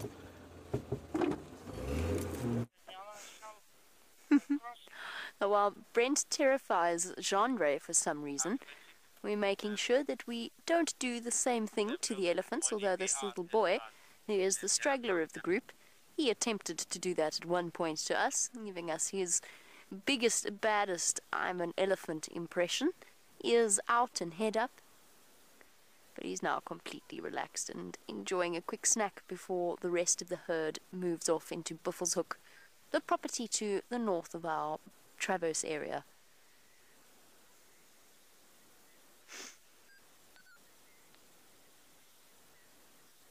And hello to Charlotte in Port Elizabeth, who'd like to know about how elephant herds are formed. And which is a very good question because we always think of them as sort of forever being in existence, but that's not necessarily the case. Although they will, of course. I mean, elephant herds would have carried their genetic line for hundreds and hundreds of years, with elephants staying mostly, I mean, the females generally, almost always, staying in the same herd their entire life.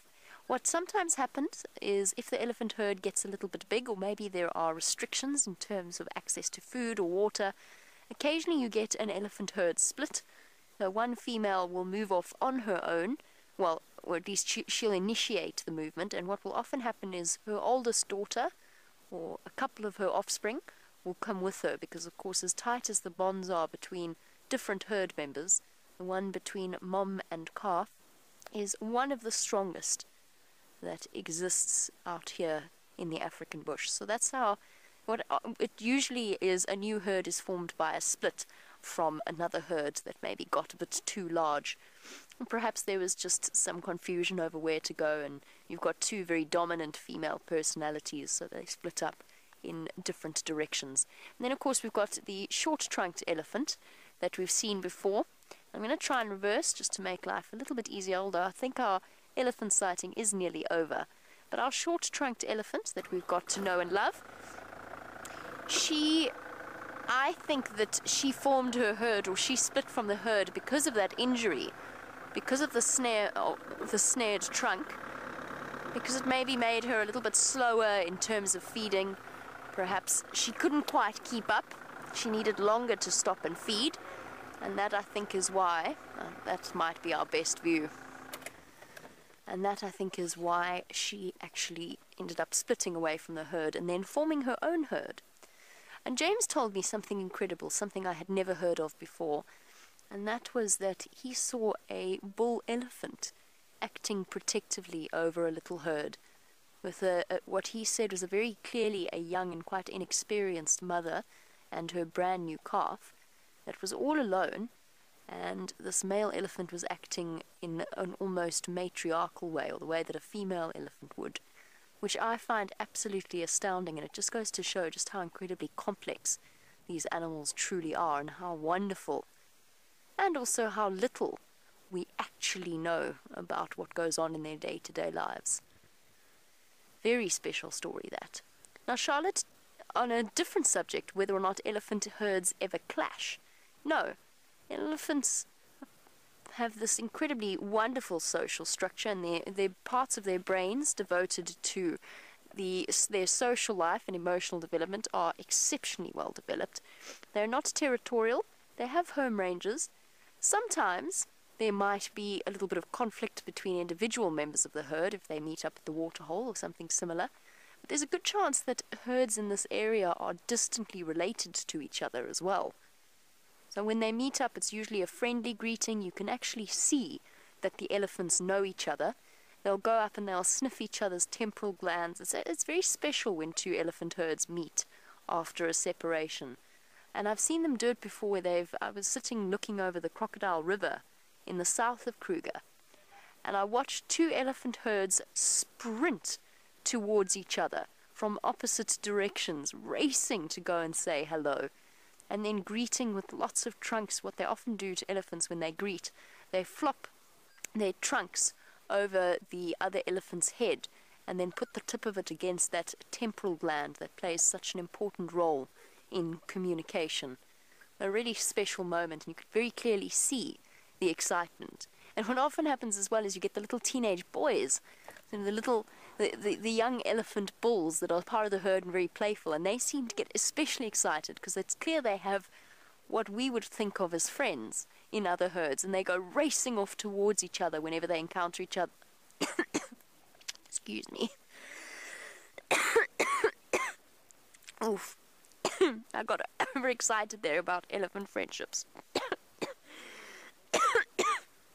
Oof. Here we go. I think that's I think that's done.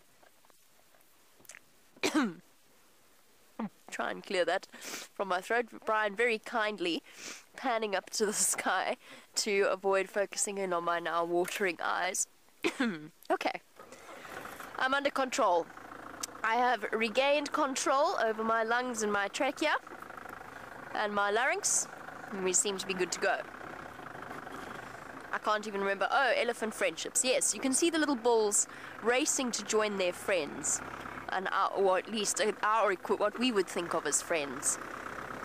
They're really special societies that elephants create for themselves. the only time they really come into conflict is with when elephant males are involved, particularly when they're being a little bit too pushy. Well, since our Ellies have almost completely disappeared into Buffelshoek, and I would very much like to have a good solid cough in order to dislodge the foreign object that has placed itself somewhere around the region of my larynx. So while I try and do that, let's go across to Brent for an update on cheetah plains.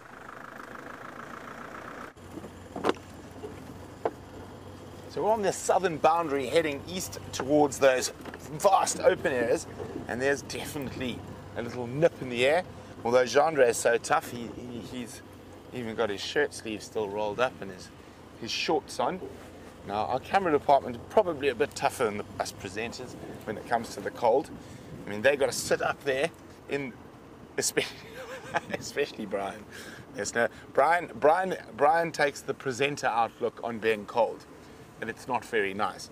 Um, and so we believe in layering extensively. I'm going to add, yes, the Jeandre says Cape Town makes him tough. Uh, I think it just made you strong smelling. But anyway, so there's always a good chance of seeing those cheetah boys around here. We have seen them a couple of times on this clearing just to the south of me. I'm just going to amble on slowly it is that time of the day when crepuscular animals like cheetah like to hunt.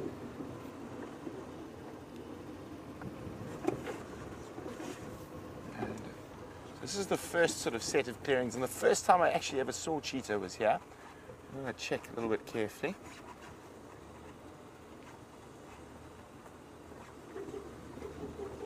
Now, when they're lying down, they're actually quite difficult to spot because they lie very, very flat, flat, and they're quite skinny cats.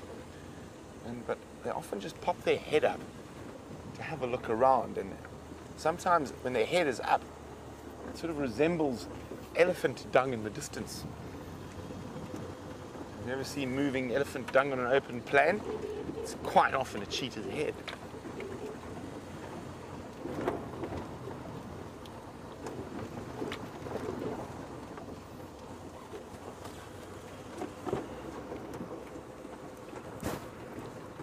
Yeah, using things. There we go, all attached. It is just an absolutely gloriously beautiful winter's evening. I mean, just look at that light. Um, we're in the shade at the moment, but we're going to pop up into that light now.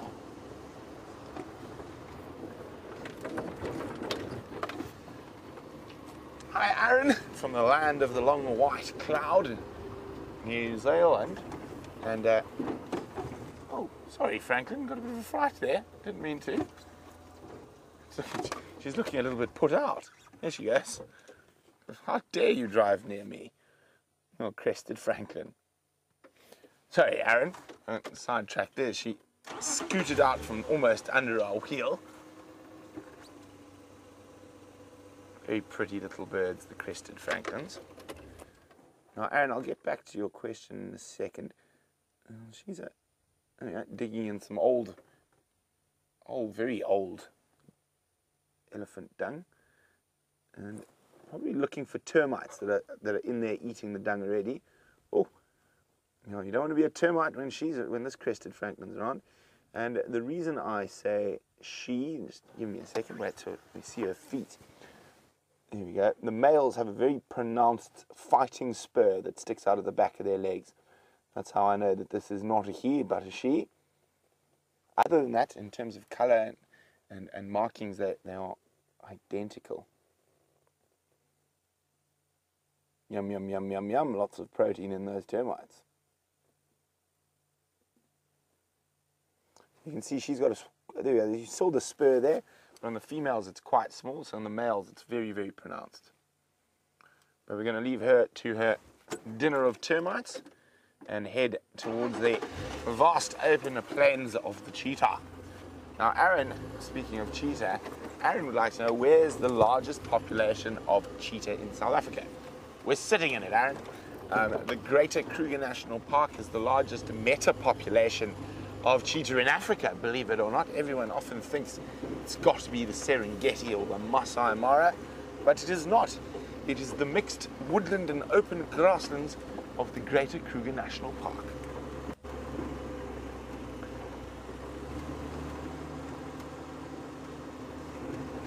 Now, the Kruger is a very important meta population for quite a few of our iconic species. In South Africa, it's also the largest population of wild dogs and largest population of lions, largest population of leopards, largest population of elephants, largest population about pretty much everything except Springbok and Eland, and Gemsbok, of course, uh, the desert dwellers. But most of your general game and and and big predators and big five, the Kruger is the sort of stronghold in South Africa for all those creatures.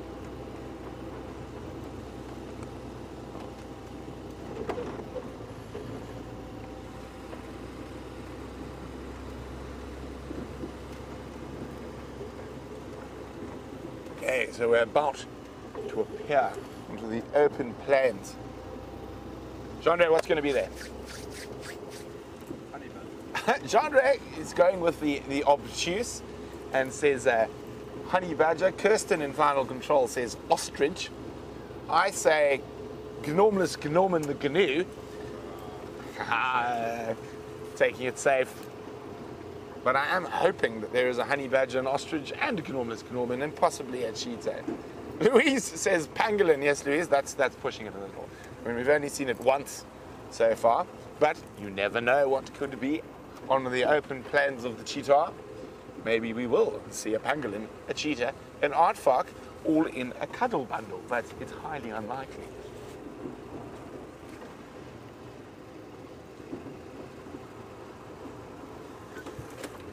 Okay, engine off. We're gonna idle in stealth mode.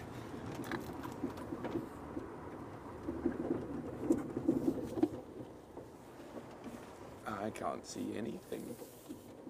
That's quite sad. Not even Gnorman.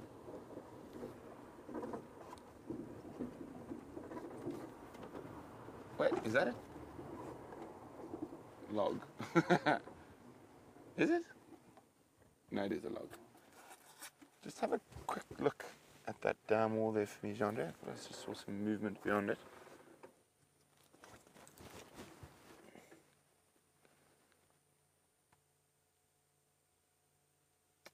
Alas. Right there, right, go back, back, back, back, back, to the right, to the right, to the right. Under the tree. To the left of the tree. It's a log. It's a log. No, go back, zoom, zoom again, zoom again. Ah, it's a tricky log. Sneaky log. Darn, I thought I'd made a, a miraculous cheetah spot from there. Ah, well, anyway. Uh, or maybe they'll be on our side. Let's go look on the next open section. But it is, uh, the open plain is devoid of any mammalian life so far. Oh no, I see something alive.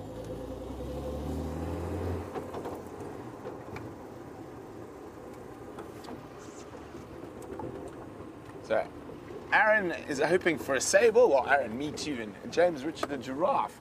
Let's know. We wouldn't mind a giraffe now. I think the only living creature I've spotted. We're gonna get. We have to get a bit closer to it because it's quite small. There's a steenbok in in the distance there.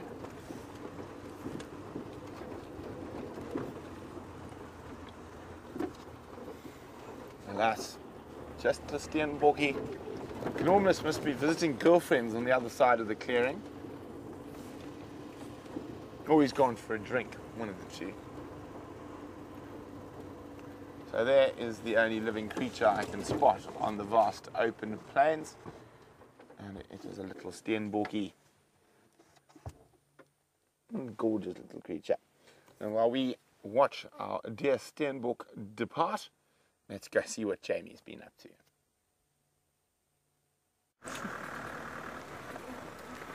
all those guesses about what would be on Cheetah Plains clearing, and it turned out to be one Steenbok relatively far away.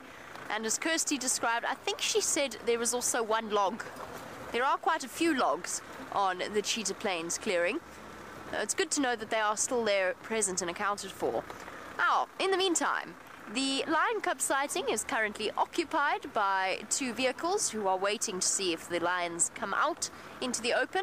And so, since we're going to give them a chance to spend a little bit of time with those wonderful cubs, we are heading off in search of a different kind of baby animal. Sorry, I'm still still suffering from my minor choking experience. We are heading across to the hyena den just to see whether or not, before it gets dark, there's any sign of the hyena named Gwen and her little babies. And hopefully they are still in the vicinity. I, the one thing I will say is that I haven't seen tracks coming south north along the road, and I do wonder whether the presence of the lions might not have prompted her to move those cubs elsewhere. But we don't know yet, so let us go and investigate, see if anybody's home. We've timed it perfectly since the early evening is the best time, along with the early morning, to have a chance of seeing little hyena cubs.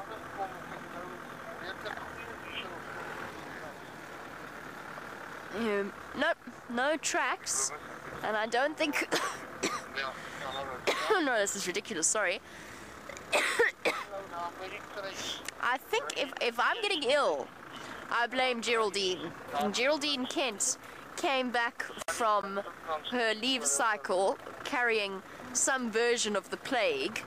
So if I'm ill, Jerry. I don't think Jerry's watching, but if I'm ill, Jerry, tis your you are to blame. All the evidence points in your direction. I don't think I'm ill though. I think I'm absolutely fine. I just, to be completely honest, choked over my own saliva, and I'm now struggling to right myself. Oh, maneuvering Maggie. Oopsie daisy. Whoopsie. A bit too far, Maggie.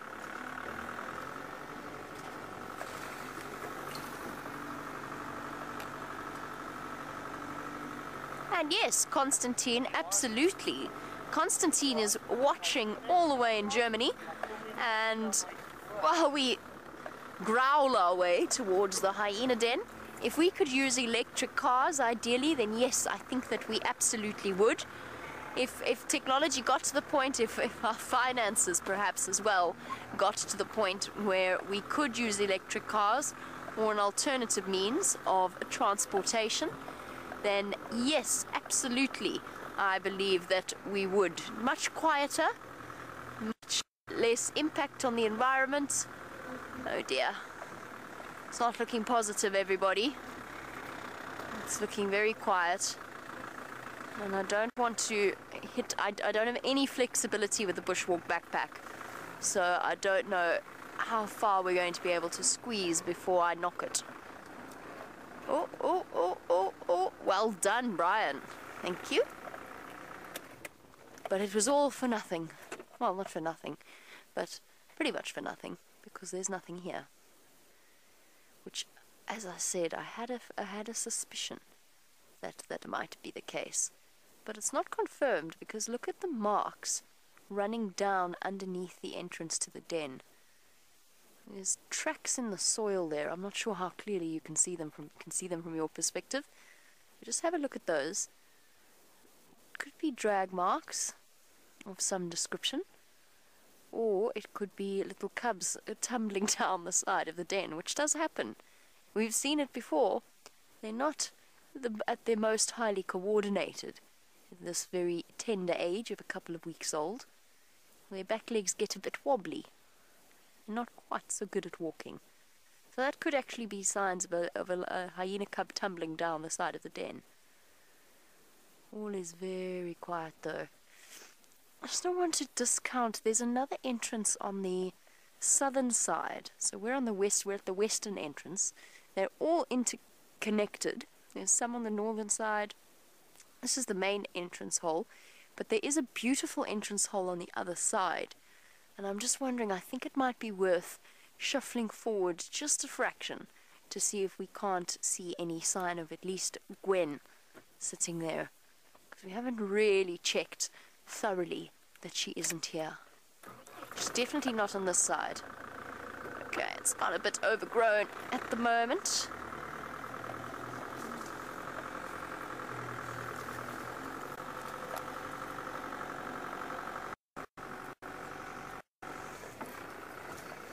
But you can't see it from this angle, but there is a, a, a hole just underneath the tree that is growing there, the boerbean that's growing there. Somewhere there's a hole.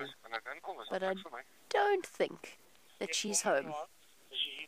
And I do wonder whether or not she has moved the cubs. There's lots of fresh tracks around. So there's still hope that she's around here somewhere. But might be worth checking up again tomorrow morning on the sunrise safari. First thing in the morning we'll come through and just double check that she hasn't in fact moved. Alright, well in that case we now need to make a uh, an attempt at shuffling out of here. And while we do, let's go across to Brent who has got a lovely view for you.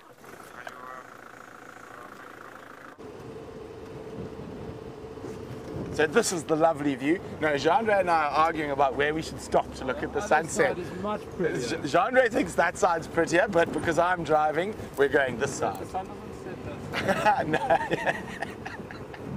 Stop it now, Jeandre. So I, I, I, I love a good sunset, but I, I, I'm trying to make this a, a dual function sunset. It also gives us a chance to look at an area we haven't looked at yet. So, and I'm going to get you such a nice uh, marula tree in the sunset. Uh, what are you saying into the mic, Jeandre? I'm watching you. There we go. Look, look at that with a marula tree. Yes, Jeandre. Now Jeandre doesn't want to show you the sunset because it's not his sunset. there we go. there we go. See, mine's better. It's got a tree in it. Oh, I didn't get to show them. Well, you, yes, I, I know mine was better. There's a branch in the way. There's a branch in the way. Okay, well, sorry, there's a branch away. I'll move slightly so it's it's it's framed for you, Jeandre. Are you happy now, Jeandre? So the main reason I wanted to look at the sunset here is so we could check this open area. We are going to start moving towards the Cheetah Plains Pan. I'm, I'm wondering if possibly Shivambalan has made his way that side. There were some tracks heading east, so that's quite possibly him. Yes. Now, there we go. So, guys, terrible, terrible to have those beautiful and such elegantly designed branches in the shot. Very, very pretty. You're wobbling your own sunset. I'm wobbling my sunset. Sorry, I have ants in my pants. Now, it's always good to stop and listen at this time of the evening. Now, if any of you out there have ever been on a safari in Africa, it's at about this time of the evening where the G&Ts get rolled out and little bar snacks come onto your bonnet and you have a sundowner out in the middle of the bush. But interestingly enough, the origin of the sundowner has nothing to do with having a beverage or having a snack. So when the safari industry was in its infancy, the, the lions and leopards were not quite what they are today. They were here, but they used to run uh, quite often during the day at the sight or sound of a vehicle. At this time of the day, they, they would start to get moving. So the guides and trackers would stop, give their drinks, uh, guests a drink and a snack. One, the tracker would normally then go sit off about 50 to 100 meters away from people and listen for alarm calls. And because at this time of the day is when those cats start moving. So that's actually where the original sort of sundowner beverage comes from. It's actually to find big cats. And there we go. Let's go and look for some big cats around the Cheetah Plains pan. And this is not a G, this is this is for Jeandre. Go. My sunset was better than your sunset.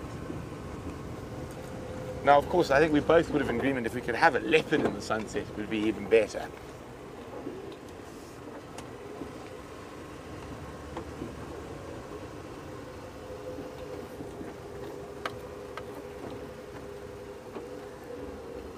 Hi, I'm Naomi, who's in Pretoria, South Africa. And Naomi saying, What happens if you get lost in the bush for days? Well, you only get lost if you've got a sense of direction like Jeandre's. Um, if you have a sense of direction like mine, you never get lost. Uh, uh, but um, if you were to be stranded, what was that? I saw an impala through the bush there. Just to go forward a little bit. What was that? The log. No, it is an impala. The log. impala. There we go, male impala. Hello, log. So, uh, yes, Jeandre is being a comedian now. There you go, lovely little impala. Now I can only see one. I'm actually sure there's a, another couple around. Doesn't appear to be a lonely impala, less eyes to spot potential predators, and also greater odds of being caught. They are such graceful antelope.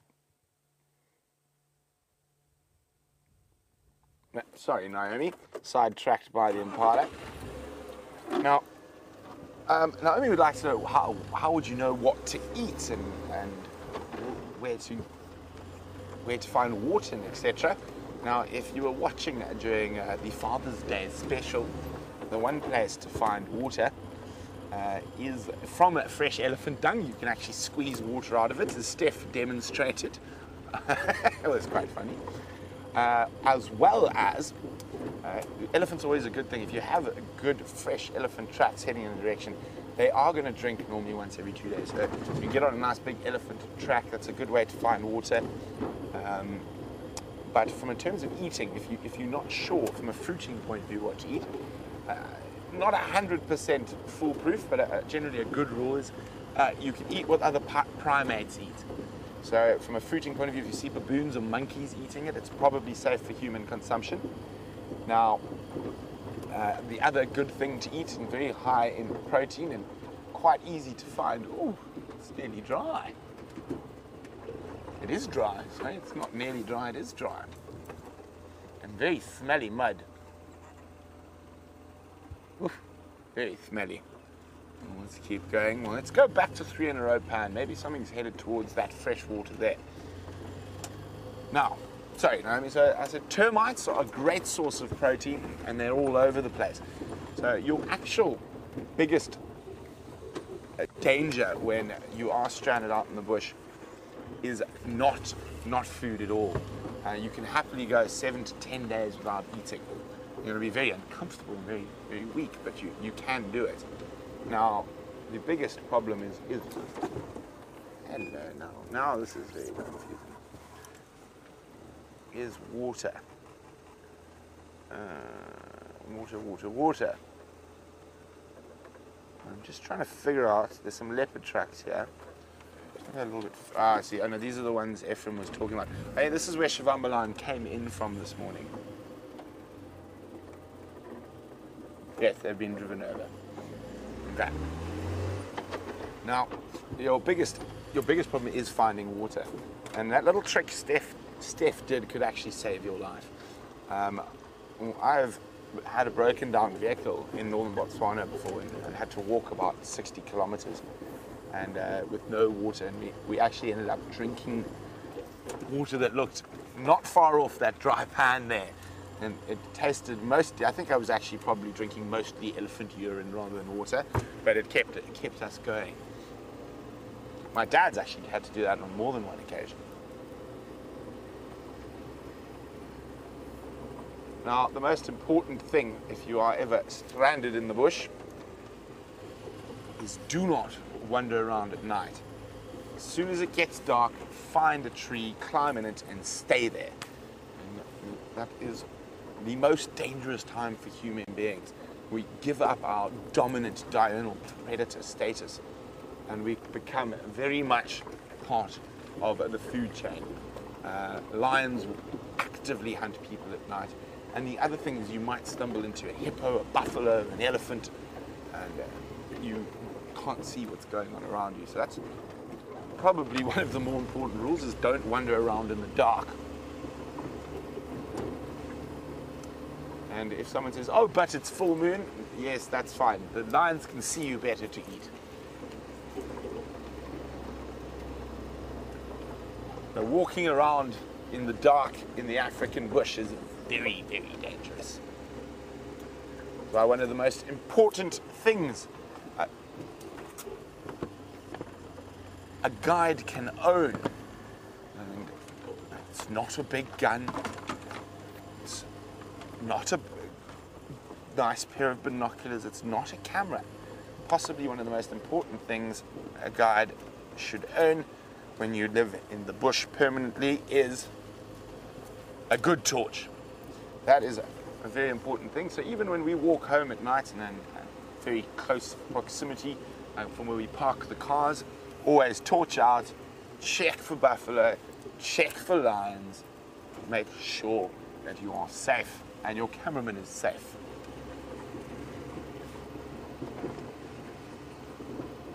Okay, so we're going to continue checking towards three in a row pan. Maybe Shivambalan's still hanging about there. While we do that, uh, let's go see what Janie's been up to.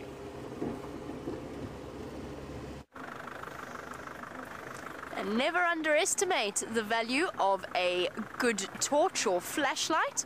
We are currently using a headlamp strapped onto the bar in order to provide us with a little bit of extra light as it starts to get dark. Some bush mechanics going into making Maggie the makeshift broadcast vehicle. I've picked something up to show you because it's something that actually Jerry pointed out to me. And I realized that perhaps we don't talk about this particular plant all that often because we don't see it all that often. It's known as a sandpaper raisin or a square stemmed raisin leaf. It's very you, you you can't obviously until technology advances to the point where we have almost like a scratch and sniff type game drive, you won't be able to get an idea of the texture, but suffice to say, it is very, very rough, hence the name sandpaper raisin, if that needed any further exposition. With its jagged outlines, we've had spoken before just in terms of survival about eating raisin bushes or the raisins of the raisin bushes. They're not actually raisins, it's the fruit. They're, they're pretty tasteless, but they'll provide you with a little bit of nutrients. But what's unique about this tree is the shape of its stem, hence the name square stemmed raisin bush. Just if that needed any further exposition, it's got a very square shape to it. Very, very square. Now, it's actually used as a form of corporal punishment oh, instead of the, the smacks that perhaps some of us were dealt as children. Um, this is used in a slightly different way. So, what happens is to punish offenders, it is. Oh, goodness. Hold on a moment. I've, I've had experience with this before where I've snapped things and they've broken off in, into my face. But what basically happens is they, the, the offender places their hands together like this, so palm to palm, and the sticks of the raisin bush are placed in between the fingers like that, and then squeezed together. Now, because of the square-stemmed nature, look, it would hurt. It would hurt whatever tree you use. But because of the ridges on the square-stemmed or sandpaper raisins, actually what makes it the most uncomfortable. That is incredibly painful, and I've tried it properly before. I'm not doing it properly now, obviously. But if somebody else then grabs around the hands and squeezes together, and it digs into the knuckles. So basically a form of corporal punishment. As I was snapping it there, just talking about survival and the various aspects that it's used for, a raisin bush stem is quite springy and it's actually used to create by, by local people to find food. They actually create traps with, with it in a piece of string that then fling forward and catch things like spring hares in the desert areas, so in the Kalahari. Spring hare is not something we get here. They're awesome little creatures. They're like little, they're like if you crossed a kangaroo with a mouse, you'd get a spring hare. Tiny little things, about that tall, with long, very powerful bouncing legs, and they bounce like little kangaroos. I wish we could show you a spring hare out here, but if we do, it would definitely be very lost. Now, luckily, while we continue onwards, it seems as though Brent's trip towards three in a row pan has been relatively successful, and whilst he hasn't found Shumbambalana, he has found something much larger.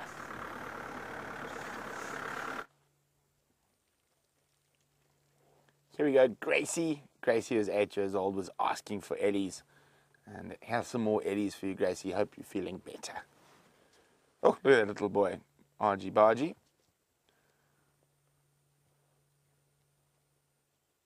A little breeding herd, not a very big one. Some naughty boys. Young hooligans. At the back two young boys. They're not very, very relaxed, and I think it's because of the young boys pushing the, the youngsters around.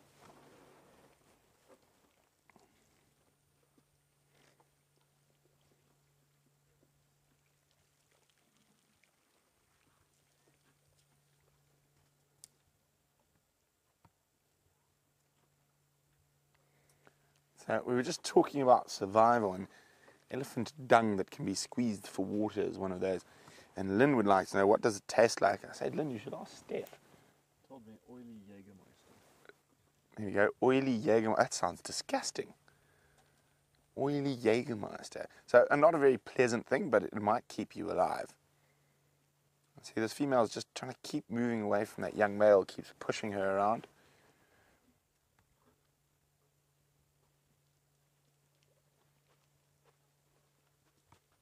And that's why that young female there, those two young females are quite agitated. So there we go. That's the little breeding herd, the two females, two two young ones. And there's this teenage bull, maybe a little bit closer to 20, who's been pushing them around. Oh, thirsty Ellies.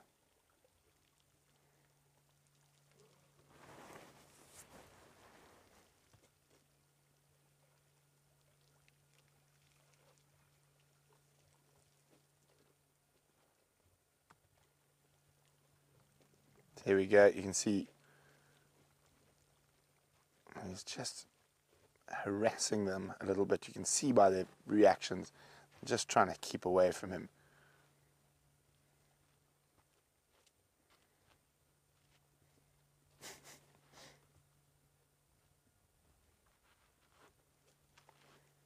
He's not really that interested in drinking. He's more interested in harassing and playing, but the others are not so keen on it.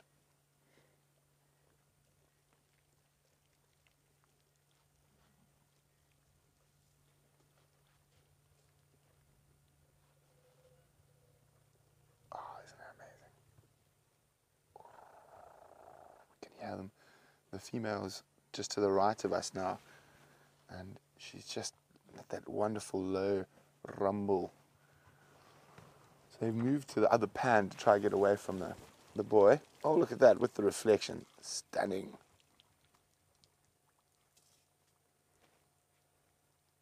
And see, that little one's still nervous from being harassed by that young bull.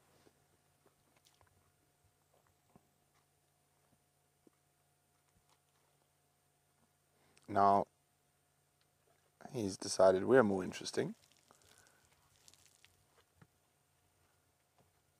What are you up to, mister? He's, he's trying to be brave behind a bush and shake his head at us. There we go. Silly boy. He's severely harassing those poor other Ellies who are now running off.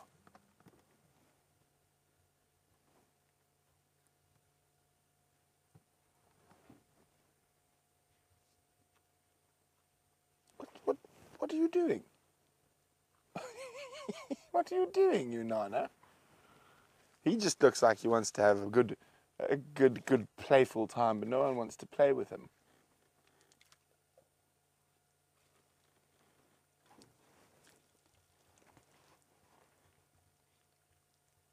Now he's finally having a drink.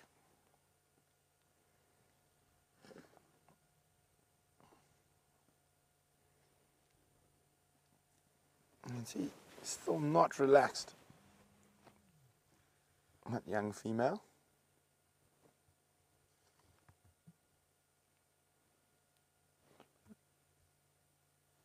Peaceful scene here, apart from the unrelaxed little Ellies.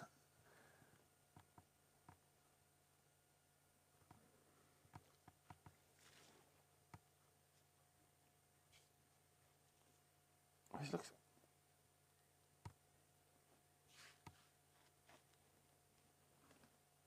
Nice, Andre. A pretty reflection. Oh, he's doing the funny nonsense again. Maybe he's got an itchy knee. and uh, uh, I cannot explain why. And there's no sort of logical reasoning why he would do, do that.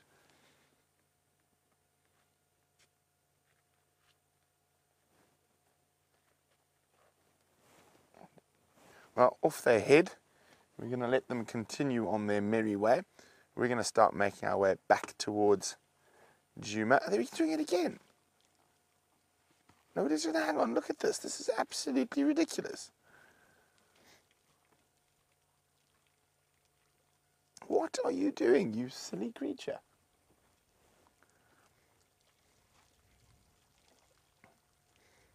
You just want someone to play with. No one wants to play with him. Shame. Poor boyo.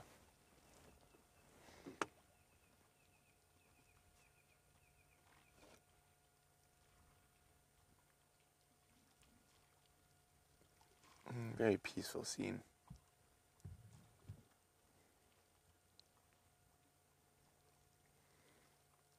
Finally being able to have a drink in peace.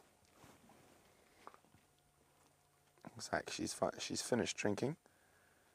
And it's going to move off for a night of feeding. And these massive animals have to keep feeding throughout the day and night to sustain that huge frame.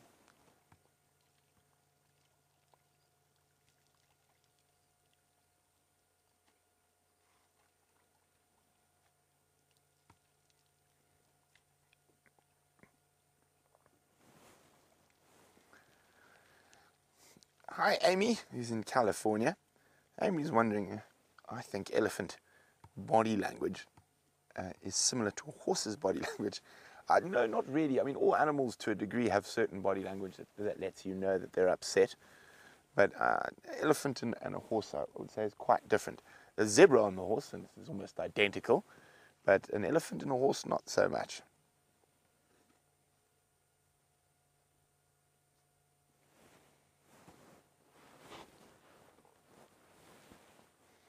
One last sip. Mom's already gone. And going to follow Mom into the woodland.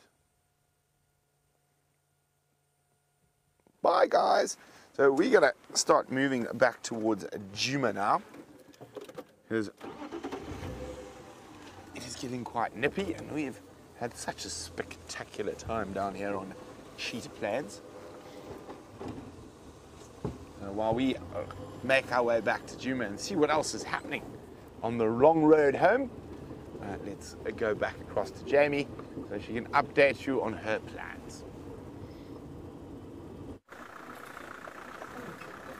Oh, while Brent continues on his long journey back to home, we've come, we've actually done a very long circuit of pretty much the whole of Djuma, and we've now hit the southwestern corner, which is very, very close to where Karula crossed out.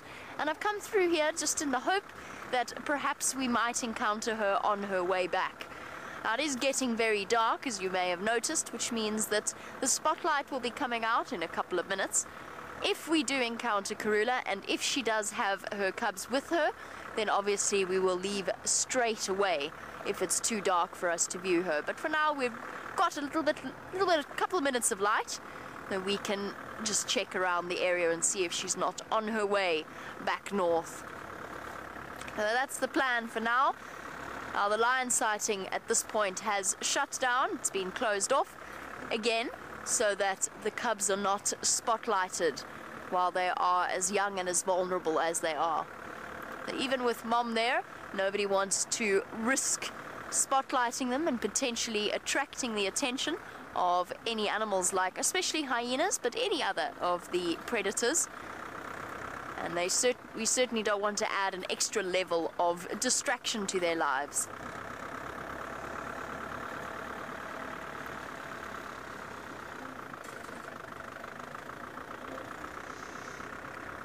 Now, In terms of the predator hierarchy, the lion comes right up at the top, so she is strong enough to defend her babies, but not against a group of hyena, which fall very close below the hy- below the lion in terms of their predator status. And Wesley, on that subject, we've we've often spoken about the somewhat unfair reputation that spotted hyenas have earned. And you wanted to know why it is they're known more as scavengers than as predators. It's a very good point. It is, it is a misnomer in a way. They are very much predators in their own right. And in certain areas, Wesley, they hunt about 80% of what they feed on. It depends very much on the lion concentration. So the lion dynamics, the lion distribution of an area, and the prey distribu- distribution of an area, that will determine how often the hyena clans of a particular place will hunt.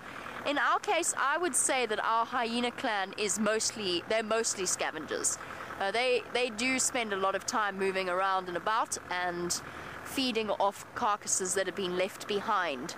Or occasionally, even as we saw a couple of weeks ago, chasing the lions off the kills themselves. They often steal from our leopards. Many, many times we've told the story. We've shut down for the end of the sunset safari with a leopard with a kill, and we've questioned whether or not the leopard will keep it. And we come back the next day, and there's hyena tracks everywhere, and a great big drag mark, and one slightly annoyed leopard that's moved off. Now, our hyenas do do a lot of scavenging. That's because they can. There's a high predator concentration. There's a high lion concentration and so they scavenge a lot. But in places like Botswana and Namibia, other areas, even in Eastern Africa, Tanzania and Kenya, the hyenas of those sorts of places do a great deal of hunting, and they're actually probably, in terms of their success rate of kills that they initiate or hunts that they initiate that result in kills, they're actually more effective. They they are better at it than lions and leopards, if you could term it like that. And that's because they, like the wild dog, rely on their extreme stamina, their speed, and and not so much speed or short ambush bursts of strength. It's a constant wearing down of the animals that they're hunting. I did a sleep out where about 300 yards away from us once, we were sleeping out under the stars. The hyenas actually brought down and killed a zebra not far away from us. Uh, Where I was working, for as a, as a contrast, the hyenas there did a huge amount of hunting for themselves. It just depends on the area and the circumstances. But hyenas do have that reputation as just nasty thieves that always steal the food from other predators and don't do any of the work themselves, which isn't fair. But they've evolved to be scavengers as well as predators. And a lot of the scavenging is really important because what it means is that they are the essentially the dustbin men of the bush the, the, the rubbish collectors, and they make sure that they, the, none of the carcasses are left behind to spread disease and bacteria. They fulfill a very, very important role. I just wish that they would come back onto Djuma and have their den site with all of the cubs back in one place once again. I we're missing out on watching the the cubs that we started off our year observing. We're missing out on seeing them grow up and that's because I think they've moved their den site to Simbambili. But never fear, they will be back once again. Djuma forms the heart of our clan's territory, so they will be around. Time to break out the spotlight and see whether or not there's any sign of the lovely Karula coming back to the north. We've just gone past the point where she crossed. All seems very silent to me. That being said, everything seems silent over the sound of Maggie's growling.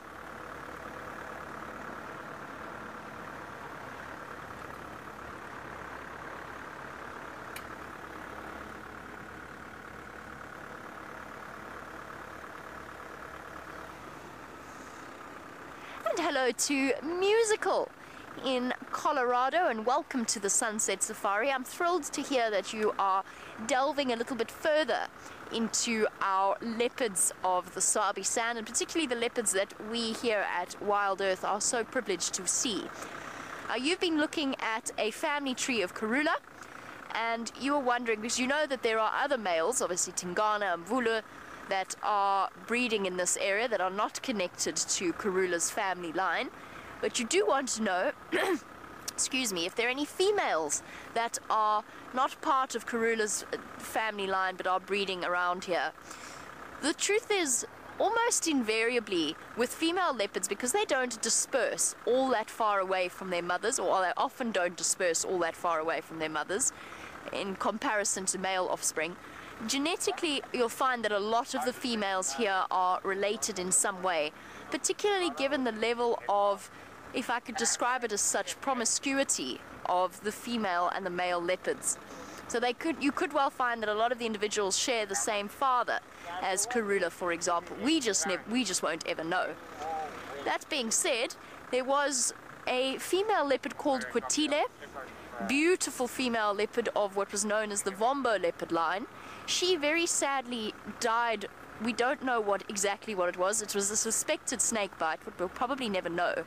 But she has an adult daughter called Tsakani. Now, Tsakani has been seen on Djuma once or twice. I've seen her, Brent's seen her. She occasionally wanders through into the top northwestern corner of that area. She's, her main territory seems to be around Simbambili, but at the moment she's trying to establish herself. herself. There's also Saleeshe, that is right to the west. She's right to the rest of our territory. Saleeshe is also, again, much bigger and taller than the Karula female line. Very, very bulky leopard. And her daughter Tiani has just been given her name, which means strength. Uh, Tiani will also be relatively soon establishing herself a territory, so it remains to be seen whether or not she decides to come through this area. And then naturally, the leopardess that has managed to avoid me so far, Inkanyeni. Inkanyeni bears distant relation. Uh, she her territory is around Torchwood, Buffelshoek, Cheetah Plains area. It looks as though she has potentially lost one of her cubs, but that remains. It's it, it seems like it is likely. She hasn't been seen. She's been seen with only one cub a couple of times, so she's around as well. And then Shaluva, Shaluva the leopard in the north around Manyeleti. So those are the the female line that are not directly related to Karula. But as I said, you may find that there is a connection. If you go far enough back, you might find they share the same father, the same grandfather, the same grandmother. There are connections. In the same way, if you were to go back far enough, you might even find that the Styx and the Nkuhumas were part of the same pride at some point, and maybe the Nkuhumas came from a split from the Styx, just like we talked about before. Unconfirmed, but it is a possibility. There might be a genetic connection. I'm trying to think if I've missed out any. If I have, then you are more than welcome to let me know. I'm sort of thinking off the top of my head, but those are the ones that we could see in this area. Sure, I've forgotten one. Just can't think. Shaluva, Kotile is now dead. Tsakani, Saleheshe, Tiani, Inkanyeni. I think that's it. That are not directly related to Karula. But of course, our three main females that we see regularly Karula, Shadow, and Tundi. Inkanyeni's managed to give me the slip every time I go searching for her.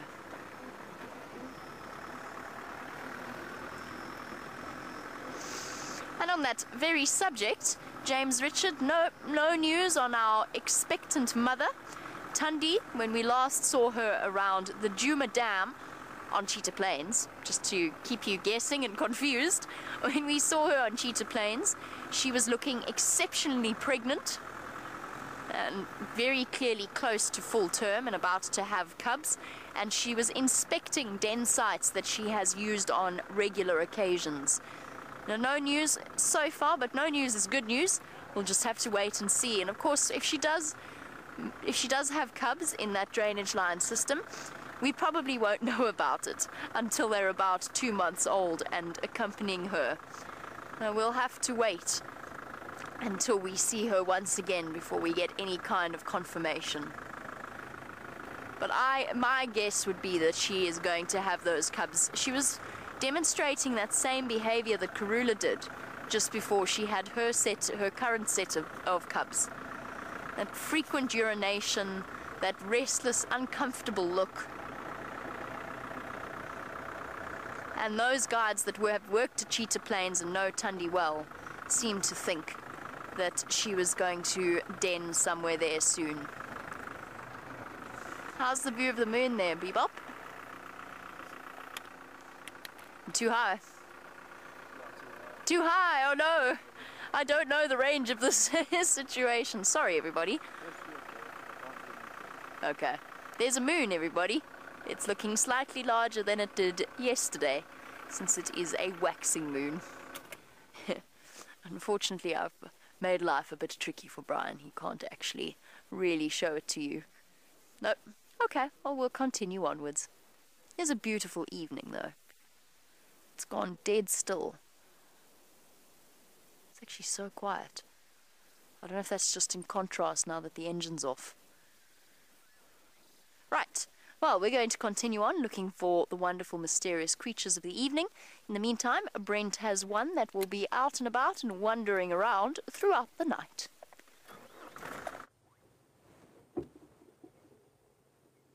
Look at that. A hippo coming out of the dam on its way to go feed for the evening. Um, you got to be very careful with hippos at this time of the year um, because of the drought. Um, just, we're not going to move too much. I'm just going to let that hippo wander off. It's going to go behind us now. I'm sorry, John, I can't see where I'm shining the light. So, oh, I'm doing a good job. shining with my monitor. Looks like a big female. Off she goes.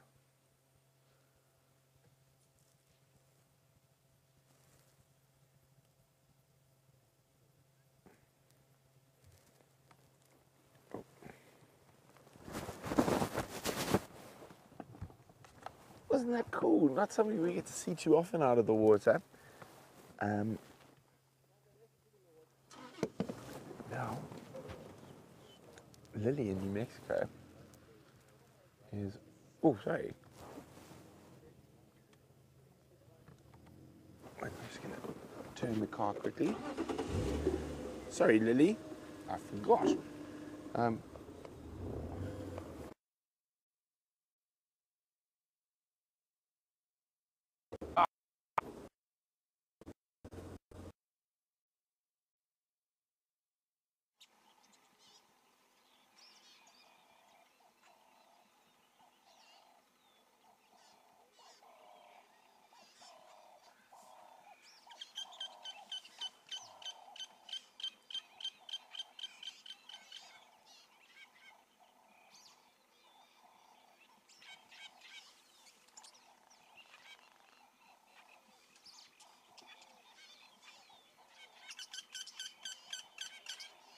Sorry about this, everybody. Perhaps something has pushed over the Gowrie repeater, just like the elephants have pushed over this marula tree. Our technical team is rushing around madly trying to. Sorry about that. It's a, a bit of a bad signal spot down in the little drainage there. So Lily was wondering how big is a hippo's teeth. Now they're massive, Lily. Uh, sometimes as half as long as my arm, thick, and they're sharp, and they sharpen up against each other. Now those teeth are not for eating; they're for fighting. So defending themselves against lions and and, and hyenas, and also fighting amongst themselves. So very impressive set of teeth to defend themselves.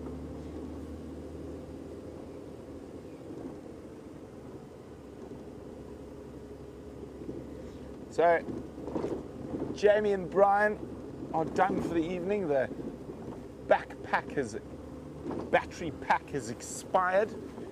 So, well, you know, stuck with Jeandre and Al for the rest of the sunset safari. And hopefully. we can find you some interesting animals. I'm thinking bush baby. What are you thinking, Jeandre?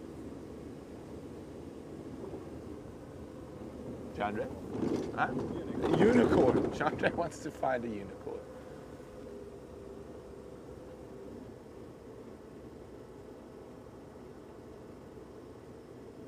Well, it seems like we have a new viewer. A big welcome to Jess in Durban.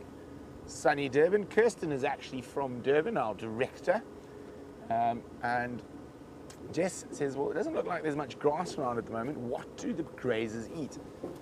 Now, you wouldn't believe it, but if you look carefully, there isn't much, but there is some grass about.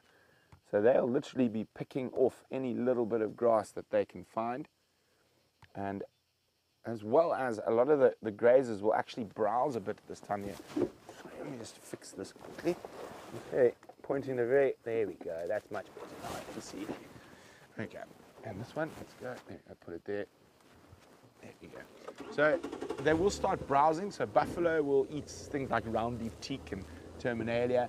Um, the one of the animals that suffers the most, and generally the first animal to really die during a drought, is warthog. Uh, warthog take it quite heavily, and they're, they're often the first to, first to die. After the warthog, uh, you start normally to see animals like kudu and inyala and, and, and bushbuck start start getting very well hit. Uh, the impala s- sort of stays in the best condition the longest because they are able to feed off both grass and leaves. But also just remember that with this drought, only the strongest genetics are going to be left. So the animals that survive the drought are going to be in tip-top shape. Genetically speaking, obviously after having no food for seven months, they're not going to be in the best of shape. But those who survive will be uh, uh, genetically superior to those who have died. It's always the, the young and the old that go first, and we'll notice that there's very, very few baby, baby buffalo calves when we see the big herds. Uh, buffalo is another animal that the drought hits quite heavily. Wildebeest sometimes as well. Although the wildies were looking okay the last time I saw. What was that?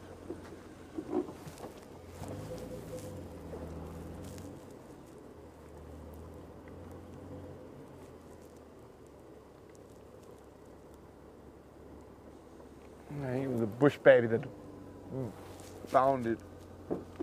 Oh, It's not a bush baby. It's a duiker. Duiker are always so tricky. They always look like a cat. You can just see the eye flashing through there. A little duiker. They quite often look like a cat. They're quite skulking in the way they move. So you always, oh, stop, and then, oh no, oh dear, it's snot.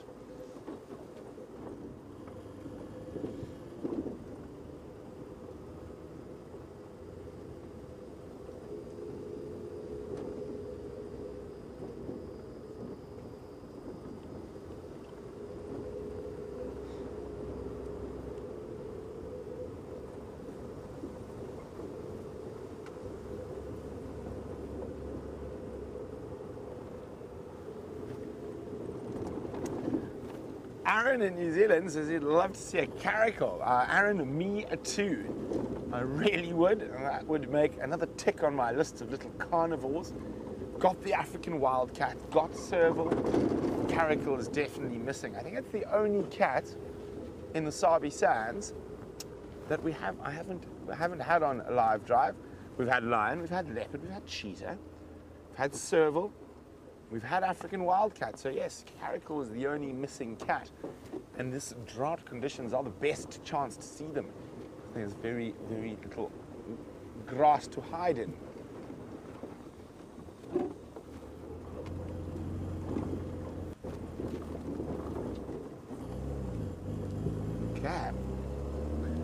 Are back safely on Djuma at the moment. I'm going to change radio channels and go back to the Northern Game Drive channel. Karula, Karula, next one. What do you think? Karula, next one.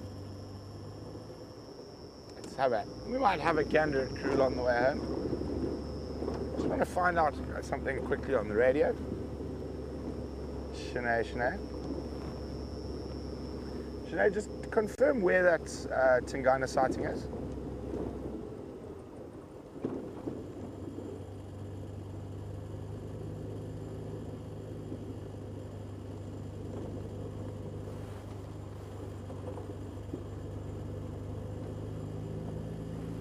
Copy, thanks very much, Sinead. Uh, good news for the morning. Uh, Tingana, people wondering where Tingana was. He's moving west towards Djuma at the moment.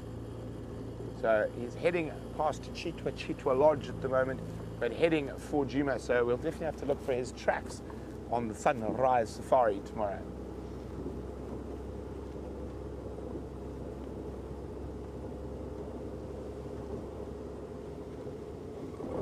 Forgot to go off the eastern channel.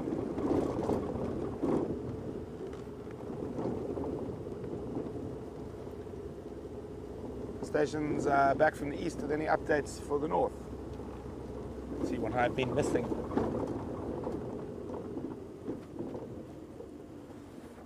Oh, there's lions roaring in Buffelshoek. That, that doesn't help us too much. Uh, sounds like maybe one of the Birminghams is around near Buffelshoek Dam, but roaring to the north.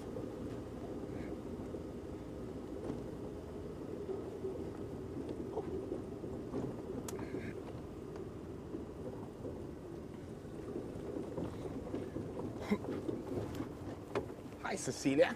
Cecilia says she knows lions will hunt buffalo. Do they ever hunt rhino? Cecilia, they do, uh, but very occasionally.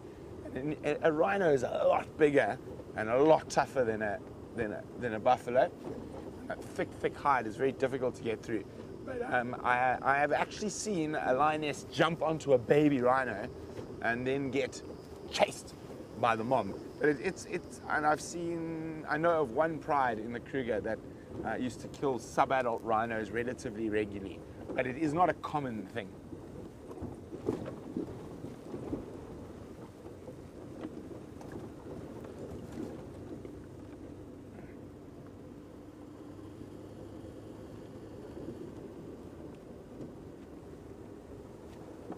Okay.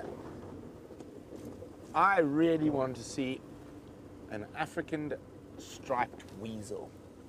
Now that is one of the rarest little critters out here. And I've actually seen one on Najuma, uh, Jamie Aswell. Uh, we were coming home from a friend's house at Simbambili and we saw this tiny little weasel on the road. And it is, a, I haven't seen many of them in my life, but nice to have seen one here on Djuma. There's always the chance we might see one.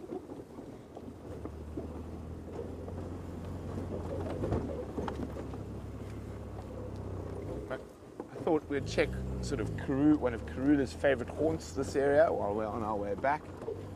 So far, not much, no bush babies, no genets, no civets, no caracals, no owls.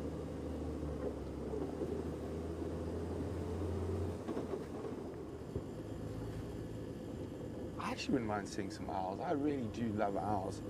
One of my favorite owls, which you don't see too often in the Sabi Sands, is the, the white-faced Scops owl. Very pretty little bird.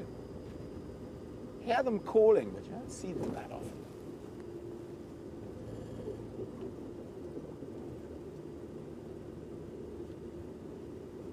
Well, it has been a cat-filled Friday.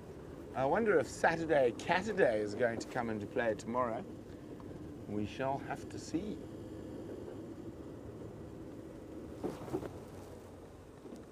Hmm, false alarm. Not even a nightjar. It is quite chilly, which is good because it means a lot of little critters will get moving a little bit earlier. Now, this little section through here is a good little critter zone. I've seen lots of different things here bush babies, genets, owl. Actually, I've seen owls here as well on this little stretch. Checking carefully in the trees, on the ground, in the thickets. Watch the branches.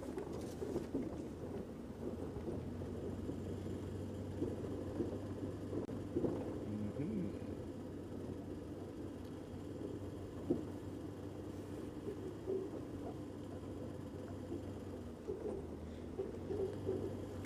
Hi, Valeria. Would like to know, are we going to do a Facebook wrap-up tonight? I don't know, Valeria, are we? I think we are. I think we shall be doing a Facebook wrap-up this evening. Ooh, what have we got? Oh, there he is. Yay! Don't jump, don't jump. There he is, Bush Baby.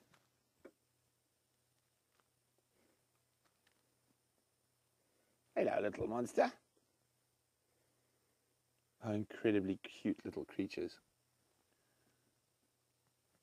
Those massive eyes. Oh, boom, boom. Massive ears. Jump. Now, if we're lucky enough to watch him cross the road, a bush baby without a tree is possibly one of the funniest things in the world. To watch them run along the ground. Oh, he's chewing gum. So that's one of his gum spots. So he'll chew that, chew that acacia. Uh, and he'll chew it probably a couple of times a week to make sure it keeps producing gum. Let's try and sneak a little closer.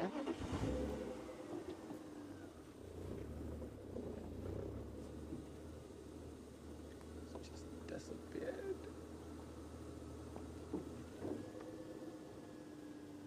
Got him?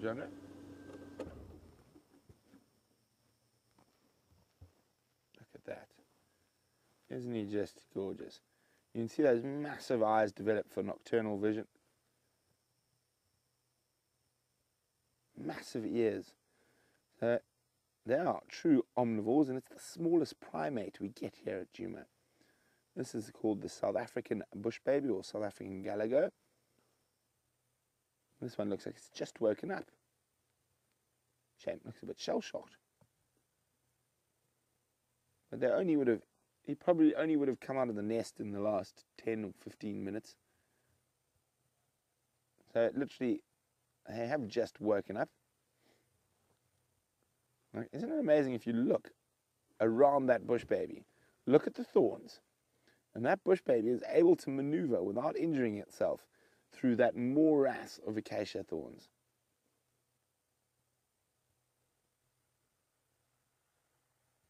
Aren't you clever? They have very high metabolisms. and You can see that by the heavy breathing or quick breathing rather than heavy breathing.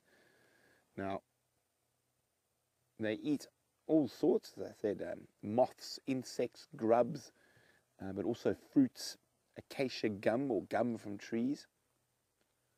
Oh, looks like it's time to move.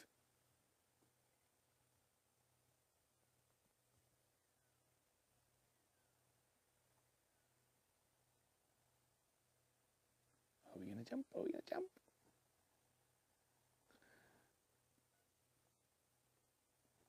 This is so cute. Now, I've had a few pet bush babies over the years. They're quite interesting because they leap onto your head in the middle of the night and gives you a hell of a fright.